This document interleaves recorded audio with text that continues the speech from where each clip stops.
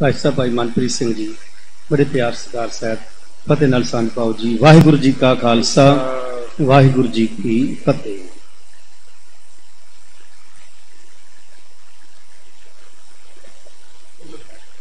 ਜੀਤਾ ਸਮੁੰਦ ਸਾਗਰ ਨੀਰ ਭਰਿਆ। ਤੇਤੇ ਅਵਗੁਣ ਹਮਾਰੇ। ਦਇਆ ਕਰੋ ਕੁਛ ਮੇਰ ਉਪਾਵੋ। ਡੁੱਬਦੇ ਪੱਥਰ ਤਾਰੇ। ਤੇਰੇ ਕਵਣ ਕਵਣ ਗੁਣ ਕਹਿ ਕਹਿ ਗਾਵਾਂ।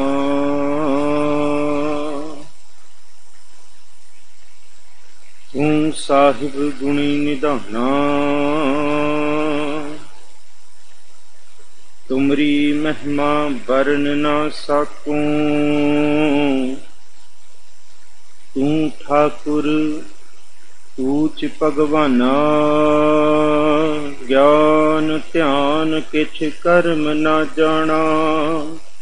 ਸਾਰ ਨਾ ਜਾਣਾ ਤੇਰੀ, ਸਭ ਤੇ ਵੱਡਾ ਸਤਿਗੁਰ ਨਾਨਕ।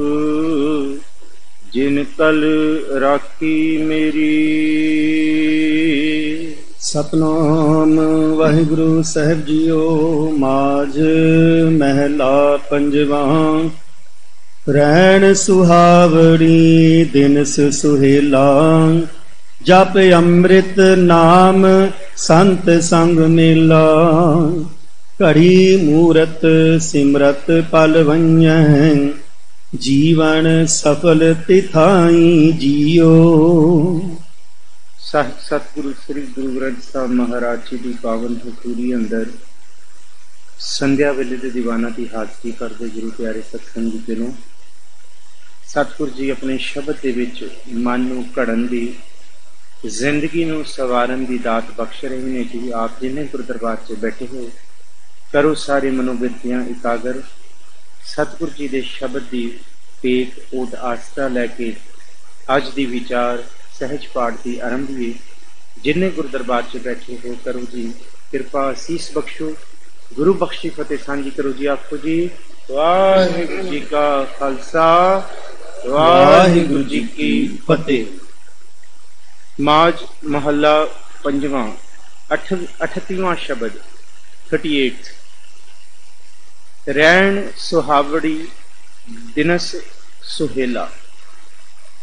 ਸਤਿਗੁਰੂ ਜੀ ਕਹਿੰਦੇ ਕਿ ਜਿਹੜੇ ਗੁਰੂ ਕੇ ਦਰ ਤੇ ਆ ਕੇ ਸੰਗਤ ਦੇ ਵਿੱਚ ਬੈਠ ਕੇ ਨਾਮ ਜਪਣ, ਧਿਆਉਣ, ਸੁਣਨ ਦੀ ਦਾਤ ਗੁਰੂ ਪਾਸੋਂ ਲੈਂਦੇ ਆ। ਕਹਿੰਦੇ ਉਹਨਾਂ ਦੀ ਰਹਿਣ ਵੀ ਸੁਹਾਵੜੀ ਹੁੰਦੀ ਹੈ, ਬਹੁਤ ਸੋਹਣੀ। ਸੁਹਾਵਾ ਜਿਹੜਾ ਲਫ਼ਜ਼ ਹੈ, ਉਹਨੂੰ ਸੁਹਾਵੜਾ ਕਿਹਾ। ਸੋਹਣੇ ਤੋਂ ਵੀ ਸੋਹਣਾ। ਆਨੰਦਮਈ ਤੋਂ ਵੀ ਆਨੰਦਮਈ। ਕਿਉਂਕਿ ਪਹਿਲਾਂ ਰਾਤ ਸੰਭਾਲਣੀ ਹੈ। ਜਿਨੇ ਰਾਤ ਸੰਭਾਲੀ ਹੈ, ਉਹਦਾ ਦਿਨ ਸੁਖੀ ਹੋਏਗਾ। ਜੇ ਰਾਤ ਹੀ ਡਿਪਰੈਸ਼ਨ ਦੇ ਵਿੱਚ ਹੈ, ਜੇ ਰਾਤ ਹੀ ਕਿਸੇ ਦੇ ਲਈ ਮਾੜੇ ਫੁਰਨੇ ਨੇ, ਕਿਸੇ ਦੇ ਲਈ ਅੰਦਰ ਤੌਖਲੇ ਵਾਲੀ ਬਿਰਤੀ ਹੈ, ਗੁਰੂ ਸਾਹਿਬ ਕਹਿੰਦੇ ਉਹ ਰਾਤ ਖਰਾਬ ਰਹੇਗੀ। ਔਰ ਅੱਜ ਮੈਂ ਕੁਝ ਆਰਟੀਕਲਸ ਪੜ੍ਹ ਰਿਹਾ ਸੀ on depression 40% of a youth ਸਾਡੀ ਜਵਾਨੀ ਜਿਹੜੀ ਹੈ 40% ਉਹ ਰਾਤੀ ਡਿਪਰੈਸ਼ਨ ਐਂਗਜ਼ਾਇਟੀ ਵਿੱਚੋਂ ਜਾ ਰਹੀ ਹੈ। 40% ਸਾਡਾ ਯੂਥ ਸਵੇਰੇ ਫਰੈਸ਼ ਨਹੀਂ ਉੱਠਿਆ। ਉਹ ਬਹੁਤ ਥਕੇਵੇਂ ਦੇ ਵਿੱਚ ਆਪਣੀ ਸਵੇਰ ਨੂੰ ਆਰੰਭ ਕਰ ਰਿਹਾ, ਆਗਾਜ਼ ਕਰ ਰਿਹਾ। ਉਹਦਾ ਕਾਰਨ ਕੀ ਹੈ? ਸਾਡਾ ਕ੍ਰੀਏਟ ਕੀਤਾ ਹੋਇਆ ਲਾਈਫ ਸਟਾਈਲ ਸਤਿਗੁਰੂ ਜੀ ਕਹਿੰਦੇ ਕਿ ਜਿਹੜਾ ਗੁਰੂ ਕੀ ਸੰਗਤ ਵਿੱਚ ਆਉਂਦਾ ਉਹਨੂੰ ਰਾਤ ਦੇ ਵਿੱਚ ਜਿੰਨੇ ਵੀ ਵਿਕਾਰੀ ਫੁਰਨੇ ਬਿਰਤੀਆਂ, ਹੋਰ ਹੋਰ ਦੇ ਖਿਆਲ ਨੇ, ਉਹ ਸੰਕੋਚ ਲੈਂਦਾ ਮਨ। ਮਨ ਟੇਕ ਲੈ ਲੈਂਦਾ ਇੱਕ ਫਿਰ ਪ੍ਰਭੂ ਦੀ। ਮਨ ਵੀ ਟਿਕ ਜਾਂਦਾ ਔਰ ਜੇ ਇੱਕ ਵੀ ਫੁਰਨਾ ਮਨ ਦੇ ਵਿੱਚ ਰਹਿ ਜੇ, ਸਾਰੀ ਰਾਤ ਉਹ ਫੁਰਨਾ ਸੌਣ ਨਹੀਂ ਦਿੰਦਾ। ਜਿਸ ਵੇਲੇ ਮਨ ਦੇ ਸਾਰੇ ਫੁਰਨੇ ਖਤਮ ਹੁੰਦੇ ਆ ਇੱਕ ਇਹੋ ਜੀ ਸਟੇਜ ਤੇ ਮਨ ਆਉਂਦਾ ਤਾਂ ਬੰਦਾ ਨੀਂਦ ਦੇ ਵਿੱਚ ਜਾਂਦਾ ਇੱਕ ਇਹੋ ਜੀ ਮਿਲਾਪੜੇ ਵਾਲੀ ਸਟੇਜ ਹੈ ਜਿੱਥੇ ਬਿਲਕੁਲ ਫੁਰਨੇ ਖਤਮ ਹੋ ਜਾਂਦੇ ਆ ਮਨ ਦੇ। ਔਰ ਮਨ ਬਿਲਕੁਲ ਐਨ ਆਰਾਮ ਦੇ ਵਿੱਚ, ਨੀਂਦ ਦੇ ਵਿੱਚ, ਸਰੀਰ ਜਿਹੜਾ ਹੈ, ਉਹ ਆਰਾਮ ਵਾਲੀ ਹਾਈਬਰਨੇਸ਼ਨ ਵਾਲੀ ਅਵਸਥਾ 'ਚ ਜਾਂਦਾ ਉਹਦਾ ਪਰ ਸੰਬੰਧ ਸਰੀਰ ਦੀ ਥਕਾਵਟ ਦਾ ਔਰ ਆਰਾਮ ਦਾ ਪਰ ਸਿੱਧਾ ਸੰਬੰਧ ਮਨ ਦੇ ਫੁਰਨਿਆਂ ਦੇ ਨਾਲ ਹੈ। ਜਿਹੜਾ ਨਾਮ ਜਪਦਾ ਹੈ, ਬੰਦਗੀ ਕਰਦਾ ਹੈ, ਉਹਦੀ ਰਹਿਣ ਸੁਹਾਵੜੀ ਹੁੰਦੀ ਹੈ, ਦਿਨ ਸੁਹੇਲਾ ਹੁੰਦਾ ਹੈ, ਖੁਸ਼ੀ ਦੇ ਗੀਤਾਂ ਵਾਲਾ ਹੁੰਦਾ ਹੈ। ਜਪ ਅੰਮ੍ਰਿਤ ਨਾਮ ਸਤ ਸੰਗ ਮੇਲਾ। ਸੰਤ ਸੰਗ ਦੇ ਵਿੱਚ ਬੈਠ ਕੇ ਉਹ ਨਾਮ ਦੇ ਅੰਮ੍ਰਿਤ ਦੀ ਪ੍ਰਾਪਤੀ ਕਰਦੇ ਆ। ਘੜੀ, ਮੂਰਤ, ਸਿਮਰਤ, ਪਲ ਮੰਨ ਹੈ। ਇਹ ਜਿਹੜਾ ਲਫ਼ਜ਼ ਹੈ ਨਾ, ਉਹ ਖਿੰਨ ਬਿਰਥਾ ਨਹੀਂ ਜਾਣ ਦਿੰਦੇ ਇੱਕ ਵੀ। ਉਹ ਸਾਰਾ ਕੁਝ ਭਾਵੇਂ ਉਹ ਘੜੀ ਹੈ, ਭਾਵੇਂ ਮੂਰਤ ਹੈ, ਭਾਵੇਂ ਉਹ ਇੱਕ ਪਲ ਵੀ ਹੈ, ਉਹ ਵਾਹਿਗੁਰੂ ਜੀ ਦਾ ਸਿਮਰਨ ਕਰਦੇ ਤੇ ਸਮੇਂ ਨੂੰ ਬਿਲਕੁਲ ਐਨ ਵੰਝਦੇ ਹੈ। ਉਸ ਸਮੇਂ ਨੂੰ ਧਿਆ ਕੇ ਰੱਖਦੇ ਆ, ਬਚਾ ਕੇ ਰੱਖਦੇ ਆ, ਲੇਖੇ ਲਾਂਦੇ ਆ, ਜੀਵਨ ਸਫਲ ਤੇ ਥਾਈ ਜੀਓ, ਉਹਨਾਂ ਦਾ ਜੀਵਨ ਸਫਲ ਹੈ। ਉਸ ਥਾਂ ਤੇ ਜੀਵਨ ਸਫਲ ਹੈ, ਜਦ ਮਨ ਤੇ ਤਨ ਦੇ ਵਿੱਚ ਨਾਮ ਦੀ ਬੰਦਗੀ ਕਰਕੇ ਸੁਖ ਹੈ ਜੀ। ਸਿਮਰਤ ਨਾਮ ਦੋਖ ਸਭ ਲਾਥੇ, ਅੰਤਰ ਬਾਹਰ ਹਰ ਪ੍ਰਭ ਸਾਥੇ। ਪੈ ਪਉ ਪਰਮ ਹੋਇਆ ਗੁਰ ਪੂਰੈ ਦੇਖਾ ਸਭਨੀ ਜਾਈ ਜੀਓ। ਨਾਮ ਨੂੰ ਸਿਮਰ ਕੇ ਸਿਮਰਤ ਨਾਮ, ਮਾਂ ਨੂੰ ਔਂਕੜ ਹੈ ਨਾਮ ਦੀ ਬਖਸ਼ਿਸ਼ ਦੇ ਨਾਲ। ਦੁੱਖ ਸਭ ਲਾਤੇ ਅੰਤਰ ਬਾਹਰ ਹਰ ਪ੍ਰਭ ਸਾਥੇ, ਮਨ ਦੇ ਅੰਦਰ ਦਾ ਆਨੰਦ। ਪਹਿਲਾਂ ਘਰ ਦੇ ਵਿੱਚ ਸੁਖ ਵਸੇਗਾ, ਫਿਰ ਬਾਹਰ ਦੇ ਸੁਖ ਵਾਲੀ ਅਵਸਥਾ ਆਏਗੀ। ਘਰ ਸੁਖ ਵਸਿਆ, ਬਾਹਰ ਸੁਖ ਪਾਇਆ। ਕਹੋ ਨਾਨਕ ਗੁਰ, ਮੰਤਰ ਦਿੜਾਇਆ ਉਠਤ ਸੁਖੀਆ, ਬੈਠਤ ਸੁਖੀਆ। ਗੁਰੂ ਸਾਹਿਬ ਕਹਿੰਦੇ ਫਿਰ ਕੀ ਅਵਸਥਾ ਹੋਏਗੀ? ਪਾਉ ਨਹੀਂ ਲਾਗੈ। ਜਾਂ ਐਸੇ ਰਾਖਾ ਏਕ। ਜੇ ਬੁੱਝਾਂਗੇ ਤਾਂ ਪਤਾ ਲੱਗੇਗਾ ਕਿ ਰਾਖਾ ਏਕ ਹਮਾਰਾ ਸੁਆਮੀ ਸਗਲ ਘਟਾ ਕੇ ਅੰਤਰ ਜਾਮੀ ਉਹ ਸਾਰੇ ਘਟਾ ਦੇ ਵਿੱਚ ਵਸ ਰਿਹਾ ਇਸ ਕਰਕੇ ਸਾਨੂੰ ਸੁਹਿਲਾ ਬਾਣੀ ਦਿੱਤੀ ਹੈ ਰਾਤੀ। ਕਿ ਸਿੱਖ ਦੀ ਮਰਿਆਦਾ ਹੈ ਮਨ ਦੇ ਸਾਰੇ ਦਿਨਾਂ ਦੇ ਫੁਰਨੇ ਬੇਚੈਨੀ ਪਰੇਸ਼ਾਨੀਆਂ ਖਲਾਰਾ ਉਹ ਇੱਕ ਪਾਸੇ ਹੈ। ਗੁਰੂ ਨਾਨਕ ਦੀ ਬਖਸ਼ਿਸ਼ ਬਾਣੀ ਸੋਹਿਲਾ ਇੱਕ ਪਾਸੇ ਹੈ।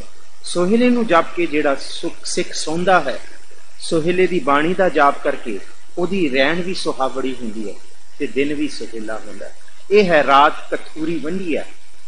ਰਾਤ ਵੇਲੇ ਜਿਹਨੂੰ ਸੌਂਦੇ ਵਾਹ ਵਾਹ ਉੱਚ ਰਹਿ ਗਿਆ, ਜਿਹਨੂੰ ਕਿਹਾ ਪਹਿਲੇ ਪੈਰੇ ਫੁੱਲੜਾ ਫਲ ਵੀ ਪੱਛਾ, ਰਾਤ। ਗੁਰੂ ਸਾਹਿਬ ਕਹਿੰਦੇ, ਇਸ ਅਵਸਥਾ ਦੇ ਵਿੱਚ ਸਾਰੇ ਦੁੱਖ ਲੱਥ ਜਾਣਗੇ। ਫਿਰ ਗੁਰੂ ਬਖਸ਼ਿਸ਼ ਕਰਨਗੇ, ਅੰਤਰ ਬਾਹਰ ਹਰ ਪ੍ਰਭ ਸਾਥੇ, ਅੰਦਰ ਵੀ ਖੁਸ਼, ਖੁਸ਼ੀ, ਬਾਹਰ ਵੀ ਖੁਸ਼ੀ, ਦੁਨੀਆ ਦੇ ਕਾਰ ਵਿਹਾਰ ਤੇ। ਭੈ ਭਾਉ ਭਰਮ ਖੋਇਆ, ਗੁਰਪੂਰ ਗੁਰੂ ਦੀ ਬਖਸ਼ਿਸ਼ ਨੇ। ਭੈ ਵੀ ਖਤਮ ਕਰਤਾ, ਭਾਉ ਵੀ ਖਤਮ ਕਰਤਾ, ਭਰਮ ਵੀ ਖਤਮ ਕਰਤੇ। ਦੇਖਾਂ ਸਭਨੀ, ਜਾਈ ਜੀਓ। ਫਿਰ ਸਗਲ ਘਟਾ ਕੇ ਅੰਤਰਜਾਮੀ ਵਾਲਾ ਸੱਚ ਪ੍ਰਗਟ ਹੋਏਗਾ ਜੀ। ਪ੍ਰਭ ਸਮਰੱਥ ਵੱਡ ਊਚੇ ਅਪਾਰਾ। ਨੌ ਨਿਦ ਨਾਮ ਪਰੇ ਪੰਡਾਰਾ, ਆਦ ਅੰਤ ਮਦ ਪ੍ਰਭ ਸੋਈ, ਦੂਜਾ ਲਵੇ ਨਾ ਲਾਈ ਜੀਓ। ਇੱਥੇ ਹੈ ਪ੍ਰਭ ਸਮਰੱਥ, ਪ੍ਰਭ ਕੋਲ ਸਾਰੀ ਤਾਕਤ ਹੈ। ਵੱਡ, ਊਚ, ਅਪਾਰਾ ਨੌ ਨਿਦ ਨਾਮ ਭਰੇ ਭੰਡਾਰਾ ਨੌ ਨਿਦ ਅੰਮ੍ਰਿਤ ਪ੍ਰਭ ਕਾ ਨਾਮ, ਦੇਹੀ ਮੈਂ ਇਸਕਾ ਵਿਸ਼ਰਾਮ। ਇਹ ਨਾਮ ਦੇ ਨਾਲ ਹੀ ਸਾਰੀ ਨੌ ਨਿਧੀਆਂ, ਸਿੱਧੀਆਂ ਸਭ ਪ੍ਰਗਟ ਹੋਣੀਆਂ ਨੇ। ਜਿਹੜਾ ਪ੍ਰਭੂ ਆਦ ਵੀ ਸੀ, ਅੰਤ ਵੀ ਰਹੇਗਾ ਤੇ ਮੱਧ ਦੇ ਵਿੱਚ ਵੀ ਹੈ। ਆਦ, ਅੰਤ, ਮੱਧ ਪ੍ਰਭ ਸੋਈ, ਦੂਜਾ ਲਵੇ ਨਾ। ਲਾਈ ਜੀ, ਉਹਦੇ ਵਰਗਾ ਦੂਸਰਾ ਕੋਈ ਹੈ ਹੀ ਨਹੀਂ ਜੀ। ਕਰ ਕਿਰਪਾ ਮੇਰੇ ਦੀਨ ਦਿਆਲਾ, ਜਾਚਕ ਜਾਚੈ ਸਾਦਰ ਵਾਲਾ। ਦੇ ਦਾਨ ਨਾਨਕ ਜਨ ਮੰਗੈ, ਸਦਾ ਸਦਾ ਹਰ ਧਿਆਈ ਜੀਓ। ਮੇਰੇ ਪ੍ਰਭੂ ਜੀ, ਮੇਰੇ ਵਾਹਿਗੁਰੂ ਜੀ, ਮੇਰੇ ਦੀਨ ਦਿਆਲਾ, ਮੇਰੇ ਮਾਲਕ ਜੀ, ਠਾਕੁਰ ਜੀ, ਮੇਰੇ ਤੇ ਕਿਰਪਾ ਕਰੋ, ਕਰ ਕਿਰਪਾ, ਮੇਰੇ ਦੀਨ ਦਿਆਲਾ। ਜਾਚਕ ਜਾਚਕ ਕਹਿੰਦੇ ਆ, ਬਿਲਕੁਲ ਆਪਣੀ ਸਾਰੀ ਸਮਰੱਥਾ ਨੂੰ ਤਿਆਗ ਕੇ ਜਿਹੜਾ ਗੁਰੂ ਦਾ ਆਪਣਾ ਆਪਾ ਸਮਰਪਣ ਕਰਨ ਨੂੰ ਰਾਜ਼ੀ ਹੋ ਜਾਂਦਾ ਗੁਰੂ ਦੇ ਸਾਹਮਣੇ। ਉਹਨੂੰ ਜਾਚਕ ਕਿਹਾ ਗਿਆ ਮੈਂ ਜਾਚਕ ਬਣ ਕੇ ਆਇਆ ਜਾਚੈ ਸਾਧ ਰਵਾਲਾ। ਇੱਕ ਤੇ ਮੈਨੂੰ ਸੰਗਤ ਦਾ ਆਸਰਾ ਹੈ। ਰਵਾਲਾ ਕਹਿੰਦੇ ਆ, ਟੇਕ ਚਰਨ ਧੂੜ। ਦੋ ਬਖਸ਼ਿਸ਼ਾਂ ਨੇ ਮੇਰੇ ਕੋਲ। ਕਹਿੰਦੇ, ਇੱਕ ਸਾਧ ਸੰਗਤ ਦੀ ਧੂੜ ਹੈ ਤੇ ਦੂਸਰੀ ਕੀ ਹੈ? ਦੇਹ ਦਾਨ ਨਾਨਕ ਜਨ ਮੰਗੈ ਸਦਾ ਸਦਾ ਹਰ। ਧਿਆਈ ਜਿਓ, ਉਹਨਾਂ ਸਾਧ ਸੰਗਤਾਂ ਦੀ ਧੂੜ ਪਾ ਕੇ ਨਾਨਕ ਮੇਰੇ ਤੇ ਬਖਸ਼ਿਸ਼ ਕਰਦਾ ਹੈ ਤੇ ਮੈਨੂੰ ਸੰਗਤ ਦੇ ਵਿੱਚ ਬੈਠ ਕੇ ਪ੍ਰਭੂ ਦਾ ਨਾਮ ਧਿਆਉਣ ਦੀ ਜੁਗਤ ਦਾ ਪਤਾ ਲੱਗਦਾ ਹੈ ਜੀ। ਬਾਜ ਮਹਿਲਾ ਪੰਜਵਾ, ਐਥੈ ਤੂੰ ਹੈ ਆਗੇ ਆਪੇ, ਜੀ ਜੰਤਰ ਸਭ ਤੇਰੇ ਥਾਪੇ। ਤੁਧ ਬਿਨ ਅਵਰ ਨ ਕੋਈ ਕਰਤੇ, ਮੈਂ ਧਰ ਓਟ ਤੁਮਾਰੀ ਜੀਓ। ਮਾਜ ਮਹੱਲਾ ਪੰਜਵਾਂ 39ਵਾਂ ਸ਼ਬਦ, ਐਥੈ, ਸਾਰੇ ਜਪੋ, ਐਥੈ। ਹਾਂਜੀ, ਐਥੈ। ਇਹਦਾ ਉਚਾਰਨ ਐਥੈ ਹੀ ਪੜਨਾ ਹੈ। ਤੂੰ ਇੱਥੇ ਵੀ ਹਾਜ਼ਰ ਨਾਜ਼ਰ ਹੈ, ਤੂੰ ਹੈ ਆਗੇ ਅੱਗੇ ਵੀ ਤੂੰ ਆਪ ਹੀ ਸਹਾਈ ਹੋਏਗਾ ਵਾਹਿਗੁਰੂ। ਜੀ ਜੰਤਰ ਸਭ ਤੇਰੇ ਖਾਪਨਾ ਤੇਰਾ ਹੀ ਮਿਲਿਆ ਹੋਇਆ। ਖਾਪਿਆ ਤੂੰ ਹੀ ਹੈ ਸਾਰਿਆਂ ਨੂੰ। ਗੁਰੂ ਸਾਹਿਬ ਕਹਿੰਦੇ, ਤੁਧ ਬਿਨ ਅਵਰ ਨਾ ਕੋਈ ਕਰਤੇ, ਮੈਂ ਧਰ ਓਟ, ਤੁਮਾਰੀ ਚੀਓ ਧਰ। ਧਰ ਕਹਿੰਦੇ ਆਸਰਾ ਨੂੰ, ਓਟ ਕਹਿੰਦੇ ਟੇਕ ਨੂੰ। ਵਾਹਿਗੁਰੂ ਜੀ, ਮੇਰੇ ਮਨ ਦੇ ਵਿੱਚ ਬਸ ਹੋਰ ਕੋਈ ਫੁਰਨਾ ਨਹੀਂ ਹੈ। ਮੈਨੂੰ ਹੁਣ ਇਹ ਪਤਾ ਲੱਗ ਗਿਆ ਕਿ ਦੁਨਿਆਵੀ ਜੀਵਨ ਦੇ ਲੋਕਾਂ ਦੀ, ਮਿੱਤਰ ਸਖਾਂ ਦੀ, ਬੰਦਪਾਂ ਦੀ ਟੇਕ ਇਹ ਚਿਰ ਸਥਾਈ ਨਹੀਂ ਹੈ। ਉਹ ਦਸਤਗੀਰੀ ਨਹੀਂ ਹੈ। ਉਹਨਾਂ ਨੇ ਕਿੱਥੇ ਨਾ ਕਿੱਥੇ ਹੱਥ ਖਿੱਚ ਲੈਣਾ ਆਪਣੀ ਸਮਰੱਥਾ ਦੇ ਵਿੱਚ ਇੱਕ ਕਨਿੰਗਨੈਸ ਵਾਲੀ ਬਿਰਤੀ ਤੇ ਇਹ ਵੀ ਹੁੰਦਾ ਹੈ। ਜਿੰਨੇ ਵੀ ਸਾਡੇ ਮਿੱਤਰ ਸਖਾਂ ਨੇ, ਉਹ ਅਕਸਰ ਆਪਣੇ ਸੁੱਖਾਂ ਨੂੰ ਮੁੱਖ ਰੱਖਦਿਆਂ ਹੋਇਆਂ ਸਾਡੇ ਨਾਲ ਇਸ ਤਰ੍ਹਾਂ ਦੇ ਬੰਧਨ ਦੇ ਵਿੱਚ ਵੱਜਦੇ ਹੈ।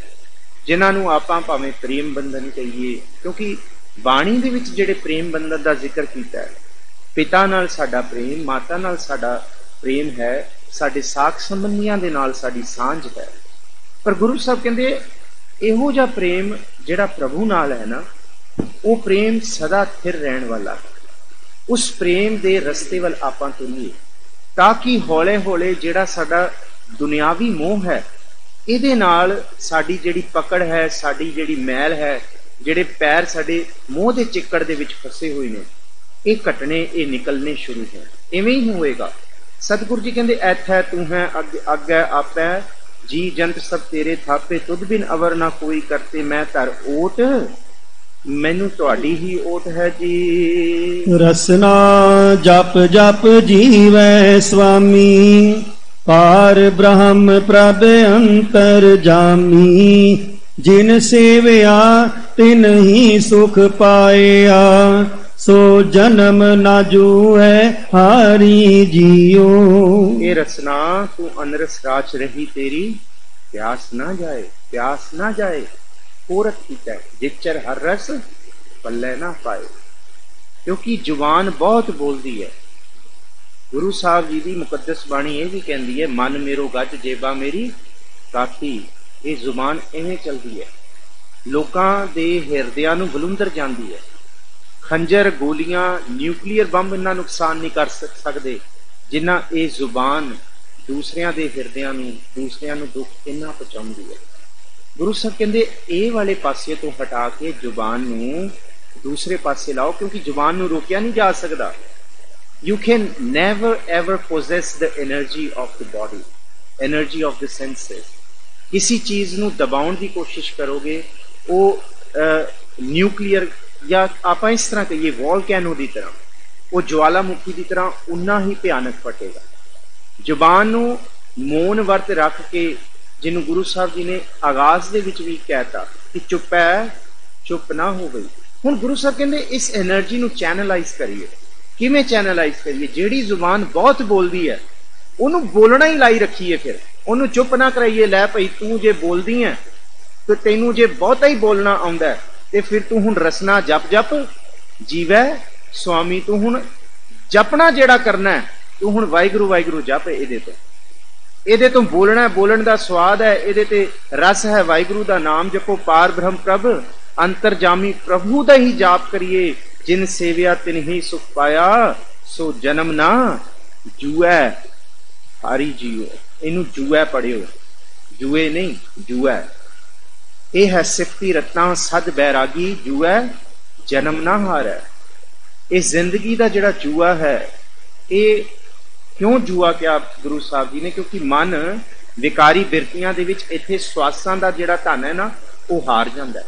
ਸਭ ਤੋਂ ਮਹਿੰਗੀ ਪੂੰਜੀ ਹੈ ਸਾਡੀ ਸਵਾਸਾਂ ਦੀ, ਸਾਡੇ ਜੀਵਨ ਦੀ, ਸਾਡੀ ਸੈਂਸਸ ਦੀ, ਸਾਡੀ એનર્ਜੀਜ਼ ਦੀ। ਕਹਿੰਦੇ ਉਹ ਹਾਰ ਦਿੰਦਾ ਪਰ ਜਿੰਨੇ ਸੇਵ ਲਿਆ, ਜਿੰਨੇ ਭਿਆ ਲਿਆ, ਉਹਨੇ ਜ਼ਿੰਦਗੀ ਦਾ ਮਨੋਰਥ ਸਮਝ ਲਿਆ ਉਹ ਜੂਏ ਦੇ ਵਿੱਚ ਜਨਮ ਨਹੀਂ ਹਾਰਦਾ ਜੀ। ਨਾਮ ਅਵਖਦ ਜਿਨ ਜਨ ਤੇਰੇ ਪਾਇਆ ਜਨਮ ਜਨਮ ਕਾ ਰੋਗ ਗਵਾਇਆ ਹਰ ਕੀਰਤਨ ਗਾਵੋ ਦਿਨ ਰਾਤੀ ਸਫਲ ਇਹਾ ਹੈ ਕਾਰੀ ਜੀਓ। ਗੁਰੂ ਸਾਹਿਬ ਜੀ ਕਹਿੰਦੇ ਨਾਮ ਔਖਤ ਜਿਨੀ ਜਨ ਤੇਰਾ ਪਾਇਆ। ਕੱਲ ਆਪਾਂ ਪੜਿਆ ਸੀ ਹੱਥੀ ਦਿੱਤੀ ਪ੍ਰਭ ਦੇਵਨ ਹਾਰੈ। ਔਖਤ ਕਹਿੰਦੇ ਔਸ਼ਧੀ ਨੂੰ ਔਖਤ ਕਹਿੰਦੇ ਬੂਟੀ ਨੂੰ। ਇਸ ਤਰ੍ਹਾਂ ਦਾ ਮੰਤਰ ਦਿੱਤਾ ਗੁਰੂ ਨੇ, ਜਿਹੜੇ ਸਾਰੇ ਰੋਗ ਦੂਰ ਕਰ ਦਿੱਤੇ। ਇਹੋ ਜੀ ਦਵਾਈ ਦਿੱਤੀ ਗੁਰੂ ਸਾਹਿਬ ਜੀ ਨੇ ਨਾਮ ਦੀ, ਬੰਦਗੀ ਦੀ।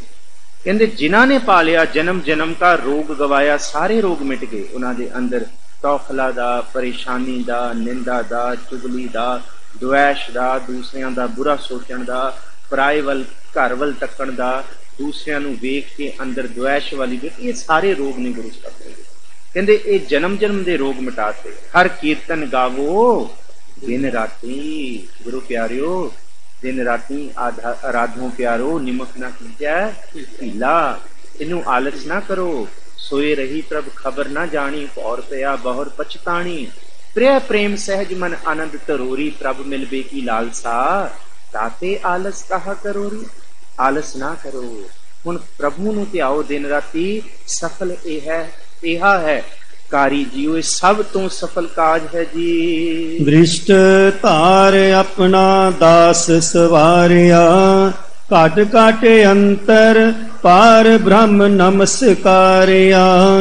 ਇਕਸ ਵੇਣ ਹੋਰ ਦੂਜਾ ਨਾਹੀ ਬਾਬਾ ਨਾਨਕ ਇਹ ਮਤ ਸਾਰੀ ਜੀਓ।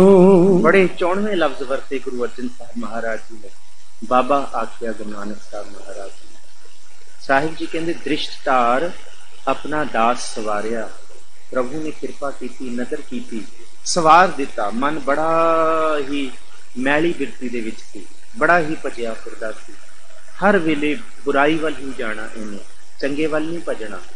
ਪਰ ਗੁਰੂ ਨੇ ਇੱਕ ਕਿਰਪਾ ਕੀਤੀ ਇਹਨੂੰ ਸਵਾਰ ਦਿੱਤਾ। ਮੈਲਾ ਸੀ ਸਵਾਰ ਦਿੱਤਾ। ਹਉਮੈ ਸੀ ਇਸੀ ਹਉਮੈ ਨੂੰ ਗੁਰੂ ਦੀ ਬੰਦਗੀ ਵੱਲ ਮਾਣ ਵੱਲ ਲਾ ਦਿੱਤਾ। ਘਟ ਘਟ ਅੰਤਰ ਪਾਰ ਬ੍ਰਹਮ। ਜਪੋ ਜੀ ਘਟ ਘਟ ਅੰਤਰ ਪਾਰ ਬ੍ਰਹਮ। ਨਮਸਕਾਰ ਜਪਿਓ ਨਾਲ ਜਪੋਗੇ ਤਾਂ ਮਨ ਟਿਕੇਗਾ ਇੱਥੇ। ਨਹੀਂ ਤੇ ਮਨ ਇੱਕ ਖਿੰਨ ਜੇ ਅਸੀਂ ਜਪਣਾ ਛੱਡ ਦਾਂਗੇ ਮਨ ਪਤਾ ਨਹੀਂ ਕਿੱਥੇ ਭੱਜ ਜਾਏਗਾ। ਫਿਰ ਵਾਪਸ ਲਿਆਉਣਾ ਪਏਗਾ ਮਨ ਨੂੰ। ਬਾਣੀ ਪੜ੍ਹਦੇ ਰਾਂਗੇ, ਜਪਦੇ ਰਾਂਗੇ, ਦੇਖਦੇ ਰਾਂਗੇ ਤੁਕਾਂ ਵੱਲ, ਅੱਖਰਾਂ ਵੱਲ, ਮਨ ਇਧਰ ਹੀ ਹਾਜ਼ਰ ਰਹੇਗਾ ਗੁਰੂ ਸਾਹਿਬ ਕਹਿੰਦੇ, ਇਸੇ ਤਰ੍ਹਾਂ ਜੇ ਮਨ ਨੂੰ ਹਾਜ਼ਰ ਰੱਖਣਾ ਹੈ ਨਾ, ਆਪਣੇ ਮਨ ਦੇ ਅੰਦਰ ਪ੍ਰਭੂ ਦਾ ਸ਼ੁਕਰਾਨਾ ਕਰੋ। ਨਮਸਕਾਰਿਆ ਜਿਹੜਾ ਲਫ਼ਜ਼ ਵਰਤਿਆ, ਉਹ ਪ੍ਰਭੂ ਦੇ ਸ਼ੁਕਰਾਨੇ ਲਈ ਵਰਤਿਆ। ਕਿ ਕਿਸੇ ਨੂੰ ਦੱਸ ਕੇ ਨਹੀਂ? ਕਿਸੇ ਨੂੰ ਬੋਲ ਕੇ ਨਹੀਂ? ਉੱਚੀ ਸਾਡੀ ਤਰ੍ਹਾਂ ਸਟੇਜਾਂ ਤੇ ਬੈਠ ਕੇ ਮਾਈਕ ਲੈ ਕੇ, ਨਾ ਨਾ ਨਾ ਨਾ। ਜਿਹੜਾ ਪ੍ਰਭੂ ਦਾ ਸ਼ੁਕਰਾਨਾ ਹੈ, ਉਹ ਤੇ ਘਟ ਦੇ ਅੰਦਰ ਹੀ ਹੋਣਾ ਚਾਹੀਦਾ। ਚੁੱਪ ਚੁੱਪ ਚੁਬੋਲਾ ਜਿਹੜਾ ਗੁਰੂ ਦਾ ਸ਼ੁਕਰਾਨਾ ਕਰੇ, ਘਟ ਘਟ ਵਾਹਿਗੁਰੂ ਦਾ ਨਮਸਕਾਰ, ਭਾਵ ਸ਼ੁਕਰਾਨਾ ਕਰੋ ਪ੍ਰਭੂ ਦਾ। ਇੱਕ ਸਵਿਨ ਹੋਰ ਦੂਜਾ ਨਹੀਂ ਕਿਸ ਤੋਂ ਬਿਨਾ ਦੂਜਾ ਕੋਈ ਨਹੀਂ ਹੈ। ਕਹਿੰਦੇ, ਬਾਬਾ ਨਾਨਕ, ਇਹ ਮਤ ਸਾਰੀ ਜੀਓ, ਮੇਰੇ ਬਾਬੇ ਨਾਨਕ ਨੇ। ਗੁਰੂ ਅਰਜਨ ਸਾਹਿਬ ਕਹਿੰਦੇ, ਦਾਦੇ ਨੇ। ਪਿਓ ਦਾਦੇ ਜੀਵ ਪਿਓ ਦਾਦੇ ਦਾਦੇ ਜੇਵਿਆ ਪੋਤਾ ਪ੍ਰਵਾਨ ਇਹ ਬਾਣੀ ਦੀ ਤੋਂ ਪਿਓ ਦਾਦੇ ਜਿਵੇਂ ਪੋਤਾ ਜੇਵਿਆ ਪਿਓ ਦਾਦੇ ਜੇਵਿਆ ਪੋਤਾ ਪ੍ਰਵਾਨ ਵਾਹਿਗੁਰੂ। ਪਿਓ ਦਾਦੇ ਜੇਵਿਆ ਪੋਤਾ ਪ੍ਰਵਾਨ ਗੁਰੂ ਨਾਨਕ ਸਾਹਿਬ ਮਹਾਰਾਜ ਜੀ। ਤੇ ਉਸ ਤੋਂ ਬਾਅਦ ਗੁਰੂ ਅੰਗਦ ਸਾਹਿਬ ਮਹਾਰਾਜ ਜੀ ਤੇ ਗੁਰੂ ਅਮਰਦਾਸ ਜੀ। ਇਹ ਤਿੰਨਾਂ ਲਈ ਲਫ਼ਜ਼ ਵਰਤਿਆ ਗਿਆ ਕਿਉਂਕਿ ਬਾਬਾ ਜਿਹੜਾ ਲਫ਼ਜ਼ ਹੈ ਨਾ ਇਹ ਦਾਦੇ ਨੂੰ ਕਿਹਾ ਗਿਆ ਇਹ ਵੱਡੇ ਨੂੰ ਕਿਹਾ ਗਿਆ। ਕਹਿੰਦੇ, ਮੇਰੇ ਬਾਬੇ ਨਾਨਕ ਨੇ ਇਹ ਗੱਲ ਦੇਤੀ ਹੈ ਕਿ ਉਸ ਪ੍ਰਭੂ ਪਰਮਾਤਮਾ ਤੋਂ ਵੱਡਾ ਕੋਈ ਵੀ ਨਹੀਂ ਹੈ ਜੀ। ਮਾਝ ਮਹਿਲਾ ਪੰਜਵਾ, ਮਨ ਤਨ ਰਤਾ RAM ਪਿਆਰੇ, ਸਰਬਸ ਦੀਜੈ ਆਪਣਾ ਵਾਰੇ। ਆਠ ਪਹਿਰ ਗੋਵਿੰਦ ਗੁਣ ਗਾਈਐ ਬਿਸਰ ਨਾ ਕੋਈ ਸਾਸਾ ਜੀਓ। ਮਾਜ ਮਹੱਲਾ ਪੰਜਵਾਂ 40ਵਾਂ ਸ਼ਬਦ ਗੁਰੂ ਅਰਜਨ ਸਾਹਿਬ ਮਹਾਰਾਜ ਜੀ ਦੇ ਮੁਖਾਰਬਿੰਦ ਤੋਂ ਚਰਨ ਕੀਤਾ ਗਿਆ। ਪਾਤਸ਼ਾਹ ਜੀ ਕਹਿੰਦੇ, ਮਨ ਦੇ ਨੰਨੇ ਨੂੰ ਵੀ ਔਂਕੜ ਹੈ, ਤਨ ਦੇ ਨੰਨੇ ਨੂੰ ਵੀ ਔਂਕੜ ਹੈ। ਰਤਾ RAM ਪਿਆਰੇ। ਜਿਹੜਾ ਇੱਕ ਮਨ ਕਰਕੇ ਤੇ ਆਪਣੇ ਤਨ ਨੂੰ ਹਾਜ਼ਰ ਕਰਕੇ ਸੰਗਤ ਦੇ ਵਿੱਚ, ਪ੍ਰਭੂ ਦੇ ਨਾਮ ਦੇ ਵਿੱਚ ਰਤ ਜਾਂਦਾ ਹੈ, ਪ੍ਰਭੂ ਦਾ ਨਾਮ ਧਿਆ ਲੈਂਦਾ ਹੈ ਸਰਬਸ ਦੀਜੈ ਆਪਣਾ ਵਾਰ। ਉਹ ਆਪਣਾ ਸਾਰਾ ਕੁਝ ਵਾਰ ਦਿੰਦਾ ਗੁਰੂ ਅੱਗੇ। ਗੁਰੂ ਤੋਂ ਬਲਹਾਰ ਜਾਂਦਾ ਆਠ ਪਹਿਰ ਗੋਬਿੰਦ ਗੁਣ ਗਾਈਐ, ਵਿਸਰ ਨਾ ਕੋਈ। ਕਹਿੰਦੇ ਇੱਕ ਸਵਾਸ ਵੀ ਫਿਰ ਨਹੀਂ ਵਿਸਰਦਾ ਉਹ ਸਿੱਖ। ਉਹ ਹਰ ਸਵਾਸ, ਸਾਸ ਸਾਸ, ਸਿਮਰੋ, ਗੋਬਿੰਦ, ਮਨ, ਅੰਤਰ ਕੀ ਉਤਰਿਆ ਚਿੰਤ। ਉਹ ਮਨ ਦੇ ਅੰਦਰ ਦੀ ਚਿੰਤਾ ਸਿਮਰ ਸਿਮਰ ਕੇ ਉਤਾਰਦਾ ਹੈ ਜੀ। ਸੋਈ ਸਾਜਨ ਮੀਤ ਪਿਆਰਾ RAM ਨਾਮ ਸਾਧ ਸੰਗ ਵਿਚਾਰਾ, ਸਾਧੂ ਸੰਗ ਤਰੀਜੈ ਸਾਗਰ, ਕਟਿਐ ਜਮ ਕੀ ਫਾਸਾ ਜੀਓ। ਉਹੀ ਸਾਜਨ ਹੈ, ਉਹੀ ਮਿੱਤਰ ਹੈ, ਉਹੀ ਪਿਆਰਾ ਹੈ, ਜਿਹਦੇ ਅੱਗੇ ਮੈਂ ਆਪਣਾ ਸਰਬਸ ਵਾਰ ਦਿੱਤਾ। RAM ਨਾਮ ਸਾਧ ਸੰਗ ਵਿਚਾਰਾ, ਪ੍ਰਭੂ ਦਾ ਰਮੇ ਹੋਏ RAM ਦਾ ਸਿਮਰਨ, ਸਤਸੰਗ ਦੇ ਵਿੱਚ ਬੈਠਣ ਦਾ ਵਿਚਾਰ ਹੁੰਦਾ ਹੈ, ਇਕੱਲੇ ਬੈਠ ਕੇ ਤੇ ਆਲਸ ਆਉਂਦਾ ਹੈ। ਇਕੱਲੇ ਬੈਠ ਕੇ ਮਨ ਦੇ ਵਿੱਚ ਵਿਕਾਰੀ ਫੁਰਨੇ ਮਨ ਦੇ ਜਿਹੜੀ ਹੋਰ ਭੱਜਣ ਵਾਲੀ ਬਿਰਤੀ ਹੈ ਨਾ, ਜਿੰਨਾ ਮਨ ਸੰਗਤ ਦੇ ਵਿੱਚ ਟਿਕਦਾ ਗੁਰੂ ਅਰਜਨ ਸਾਹਿਬ ਮਹਾਰਾਜ ਕਹਿੰਦੇ, ਉਹਨਾਂ ਕੱਲਾ ਕੱਲਾ ਬੈਠ ਕੇ ਬੰਦਗੀ ਕਰਨ ਕੋਈ ਨਹੀਂ ਟਿਕਦਾ। ਇਹਨੂੰ ਕਿਹਾ RAM ਨਾਮ ਸਾਧ ਸੰਗ, ਵਿਚਾਰਾ। ਇਥੇ RAM ਦੀ ਨਾਮ ਬੜੇ ਸੌਖੇ, ਸਹਿਜ ਤਰੀਕੇ ਨਾਲ ਹੁੰਦੀ ਹੈ। ਸਾਧੂ ਸੰਗ ਤਰੀਜੈ ਸਾਗਰ। ਇਹ ਹੈ ਸਾਧੂ ਸੰਗ। ਇਹ ਇੱਕ ਖਿੰਨ ਦੇ ਵਿੱਚ ਪ੍ਰਭੂ ਬਖਸ਼ਿਸ਼ ਕਰਦਾ ਹੈ। ਇਹ ਭਵ ਸਾਗਰ ਤਰ ਜਾਂਦਾ ਹੈ ਕਟਿਆ ਜਮ ਦੀ ਪਾਸਾ ਜੀਓ ਇਹ ਜਮ ਦੀ ਫਾਸ ਵੀ ਕੱਟੀ ਜਾਂਦੀ ਹੈ ਜੀ। ਚਾਰ ਪਦਾਰਥ ਹਰ ਕੀ ਸੇਵਾ ਪਾਰ ਜਾਤ ਜਪ ਅਲਖ ਅਪੇਵਾ। ਕਾਮ ਕ੍ਰੋਧ ਕਿਲ ਬਿਖ ਗੁਰ ਕਾਟੇ ਪੂਰਨ ਹੋਈ ਆਸਾ ਜੀਓ। ਚਾਰ ਪਦਾਰਥ ਧਰਮ ਅਰਥ ਕਾਮ ਮੋਕਸ਼। ਇਹ ਚਾਰ ਪਦਾਰਥਾਂ ਦਾ ਜ਼ਿਕਰ ਹੈ। ਮੁੱਢ ਤੋਂ ਹੀ, ਮੁੱਢ ਮੁੱਢ ਕਦੀਮ ਤੋਂ ਹੀ। ਜਦ ਧਰਮ ਦੀ ਗੱਲ ਕੀਤੀ ਜਾਂਦੀ ਹੈ ਸਾਡੇ ਇਸ ਹਿੰਦੁਸਤਾਨ ਦੀ ਧਰਤੀ ਉੱਤੇ, ਇੱਥੇ ਚਾਰ ਪਦਾਰਥਾਂ ਦਾ ਜ਼ਿਕਰ ਕਰਦੇ ਹੈ ਧਰਮ, ਅਰਥ, ਕਾਮ ਤੇ ਮੋਕਸ਼। ਧਰਮ ਤੇ ਮੋਕਸ਼ ਖਤਮ ਹੋ ਗਿਆ, ਹੁਣ ਅਰਥ ਤੇ ਕਾਮ ਰਹਿ ਗਿਆ, ਪਰ ਇਹ ਚਾਰ ਦੇ ਚਾਰ ਪਦਾਰਥ, ਜੇ ਕੋਈ ਲੋਚਦਾ ਹੈ, ਉਹ ਪ੍ਰਭੂ ਦੀ ਸੇਵਾ ਦੇ ਵਿੱਚੋਂ ਪ੍ਰਾਪਤ ਹੋ ਜਾਂਦੇ ਹੈ ਪਾਰ, ਜਾਤ, ਜਪ ਅਲਖ ਅਪੇਵਾ ਭਾਰ ਜਾਤ ਰੁਖ ਹੈ। ਜਿਸ ਰੁੱਖ ਨੂੰ ਮਨੌਤ ਵਜੋਂ, ਮਿਥਿਆਸ ਵਜੋਂ ਮੰਨਿਆ ਜਾਂਦਾ ਹੈ ਕਿ ਜਿਸ ਰੁਖ ਦੇ ਨਾਲ ਸਾਰੀਆਂ ਮਨੋਤਾਂ ਪੂਰੀਆਂ ਹੋ ਜਾਂਦੀਆਂ ਨੇ। ਗੁਰੂ ਆਪ ਹੀ ਪਾਰਜਾਤ ਹੈ। ਕਹਿੰਦੇ ਕਿਵੇਂ? ਕਹਿੰਦੇ ਗੁਰੂ ਗੁਰੂ ਜਪਣ ਦੇ ਨਾਲ ਸਾਰੀ ਮਨੋਰਥ, ਸਾਰੀਆਂ ਕਾਮਨਾਵਾਂ ਪੂਰਨ ਹੋ ਜਾਂਦੀਆਂ ਨੇ। ਇਹਦਾ ਮਤਲਬ ਗੁਰੂ ਹੀ ਪਾਰਜਾਤ ਹੈ। ਕਾਮ ਕ੍ਰੋਧ ਕਿਲ ਬਿਖ ਗੁਰ ਕਾਟੇ ਪੂਰਨ ਹੋਈ। ਆਸਾ ਜੀਓ ਇਹ ਮਨ ਨਹੀਂ ਟਿਕਦਾ ਇਸ ਕਰਕੇ ਮਨ ਦੇ ਜਿਹੜੇ ਫੁਰਨੇ ਨੇ, ਉਹ ਪ੍ਰਭੂ ਦੀ ਬੰਦਗੀ ਵਾਲੀ ਬਿਰਤੀ ਨੂੰ ਮਨ 'ਚ ਟਿਕਣ ਨਹੀਂ ਦਿੰਦੇ। ਗੁਰੂ ਕੀ ਕਰਦਾ ਪਹਿਲਾਂ ਕਾਮ ਖਤਮ ਕਰਦਾ ਫਿਰ ਕ੍ਰੋਧ, ਫਿਰ ਇਹਦੇ ਨਾਲ ਜਿੰਨੇ ਕਿਲ ਬਿਖ ਨੇ, ਕਿਉਂਕਿ ਕਾਮ ਕ੍ਰੋਧ ਬਾਣੀ 'ਚ ਬਹੁਤ ਜ਼ਿਆਦਾ ਆਇਆ ਕਾਮ ਕ੍ਰੋਧ ਕਾਇਆ ਕੋ ਗਾਲੇ, ਇਸ ਤਰ੍ਹਾਂ ਆਇਆ ਕਾਮ ਕ੍ਰੋਧ ਨਗਰ ਭੋ ਭਰਿਆ ਮਿਲ ਸਾਧੂ, ਖੰਡਲ ਖੰਡਾਏ। ਬਹੁਤ ਥਾਵਾਂ ਤੇ ਤੁਸੀਂ ਦੇਖੋਗੇ ਕਾਮ ਤੇ ਕ੍ਰੋਧ ਇਕੱਠੇ ਆਏ ਨੇ। ਕਿਉਂਕਿ ਇਹਨਾਂ ਦੇ ਵਿੱਚੋਂ ਬਾਕੀ ਚੀਜ਼ਾਂ ਜੇ ਕਾਮ ਦੀ ਪੂਰਤੀ ਨਹੀਂ ਹੋਈ ਤੇ ਮਨ ਦੇ ਵਿੱਚ ਕ੍ਰੋਧ ਪੈਦਾ ਹੁੰਦਾ ਹੈ। ਕ੍ਰੋਧ ਦੇ ਵਿੱਚੋਂ ਹੀ ਹਉਮੈ ਪੈਦਾ ਹੁੰਦੀ ਹੈ ਮੈਂ ਮੇਰੀ ਦੀ। ਗੁਰੂ ਸਾਹਿਬ ਕਹਿੰਦੇ ਸਾਰੇ ਬਿਲ ਕਿਲਬਿਕ ਖਤਮ ਕਰ ਦਿੱਤੇ ਮਨ ਦੀਆਂ ਸਾਰੀਆਂ ਆਸਾਂ ਪੂਰਨ ਹੋ ਗਈਆਂ ਜੀ। ਪੂਰਨ ਭਾਗ ਪਏ ਜਿਸ ਪ੍ਰਾਣੀ ਸਾਧ ਸੰਗ ਮਿਲੇ ਸਾਰੰਗ ਪਾਣੀ। ਨਾਨਕ ਨਾਮ ਵਸਿਆ ਜਿਸ ਅੰਤਰ ਪਰਵਾਣ ਗ੍ਰਸਤ ਉਦਾਸਾ ਜੀਓ। ਇਹ ਤੇ ਬੜੇ ਵੱਡੇ ਭਾਗ ਨੇ ਉਸ ਪ੍ਰਾਣੀ ਦੇ ਜਿਹਨੂੰ ਸਤਿਗੁਰ ਜੀ ਨੇ ਸਾਧ ਸੰਗਤ ਬਖਸ਼ੀ ਹੈ। ਪੂਰਨ ਭਾਗ ਪਏ ਜਿਸ ਪ੍ਰਾਣੀ ਸਾਧ ਸੰਗ ਮਿਲੇ, ਸਾਰੰਗ ਪਾਣੀ, ਪਹਿਲਾਂ ਸਾਧ ਸੰਗ ਮਿਲਿਆ, ਫਿਰ ਸੰਗਤ ਦੇ ਵਿੱਚ ਬੈਠ ਕੇ ਸਾਰੰਗ ਪਾਣੀ ਪ੍ਰਭੂ ਦੀ ਪ੍ਰਾਪਤੀ ਹੋਈ। ਨਾਨਕ ਨਾਮ ਵਸਿਆ ਜਿਸ ਅੰਤਰ, ਪਰਵਾਨ ਗ੍ਰਸਤ ਉਦਾਸਾ ਜੀਓ, ਕਿੱਥੇ ਭੱਜਣ ਦੀ ਲੋੜ ਨਹੀਂ ਹੈ, ਕਿੱਥੇ ਜਾਣ ਦੀ ਲੋੜ ਨਹੀਂ ਹੈ। ਸਾਧ ਸੰਗਤ ਦੇ ਵਿੱਚ ਬੈਠ ਕੇ ਨਾਮ ਹਿਰਦੇ 'ਚ ਵਸੇਗਾ।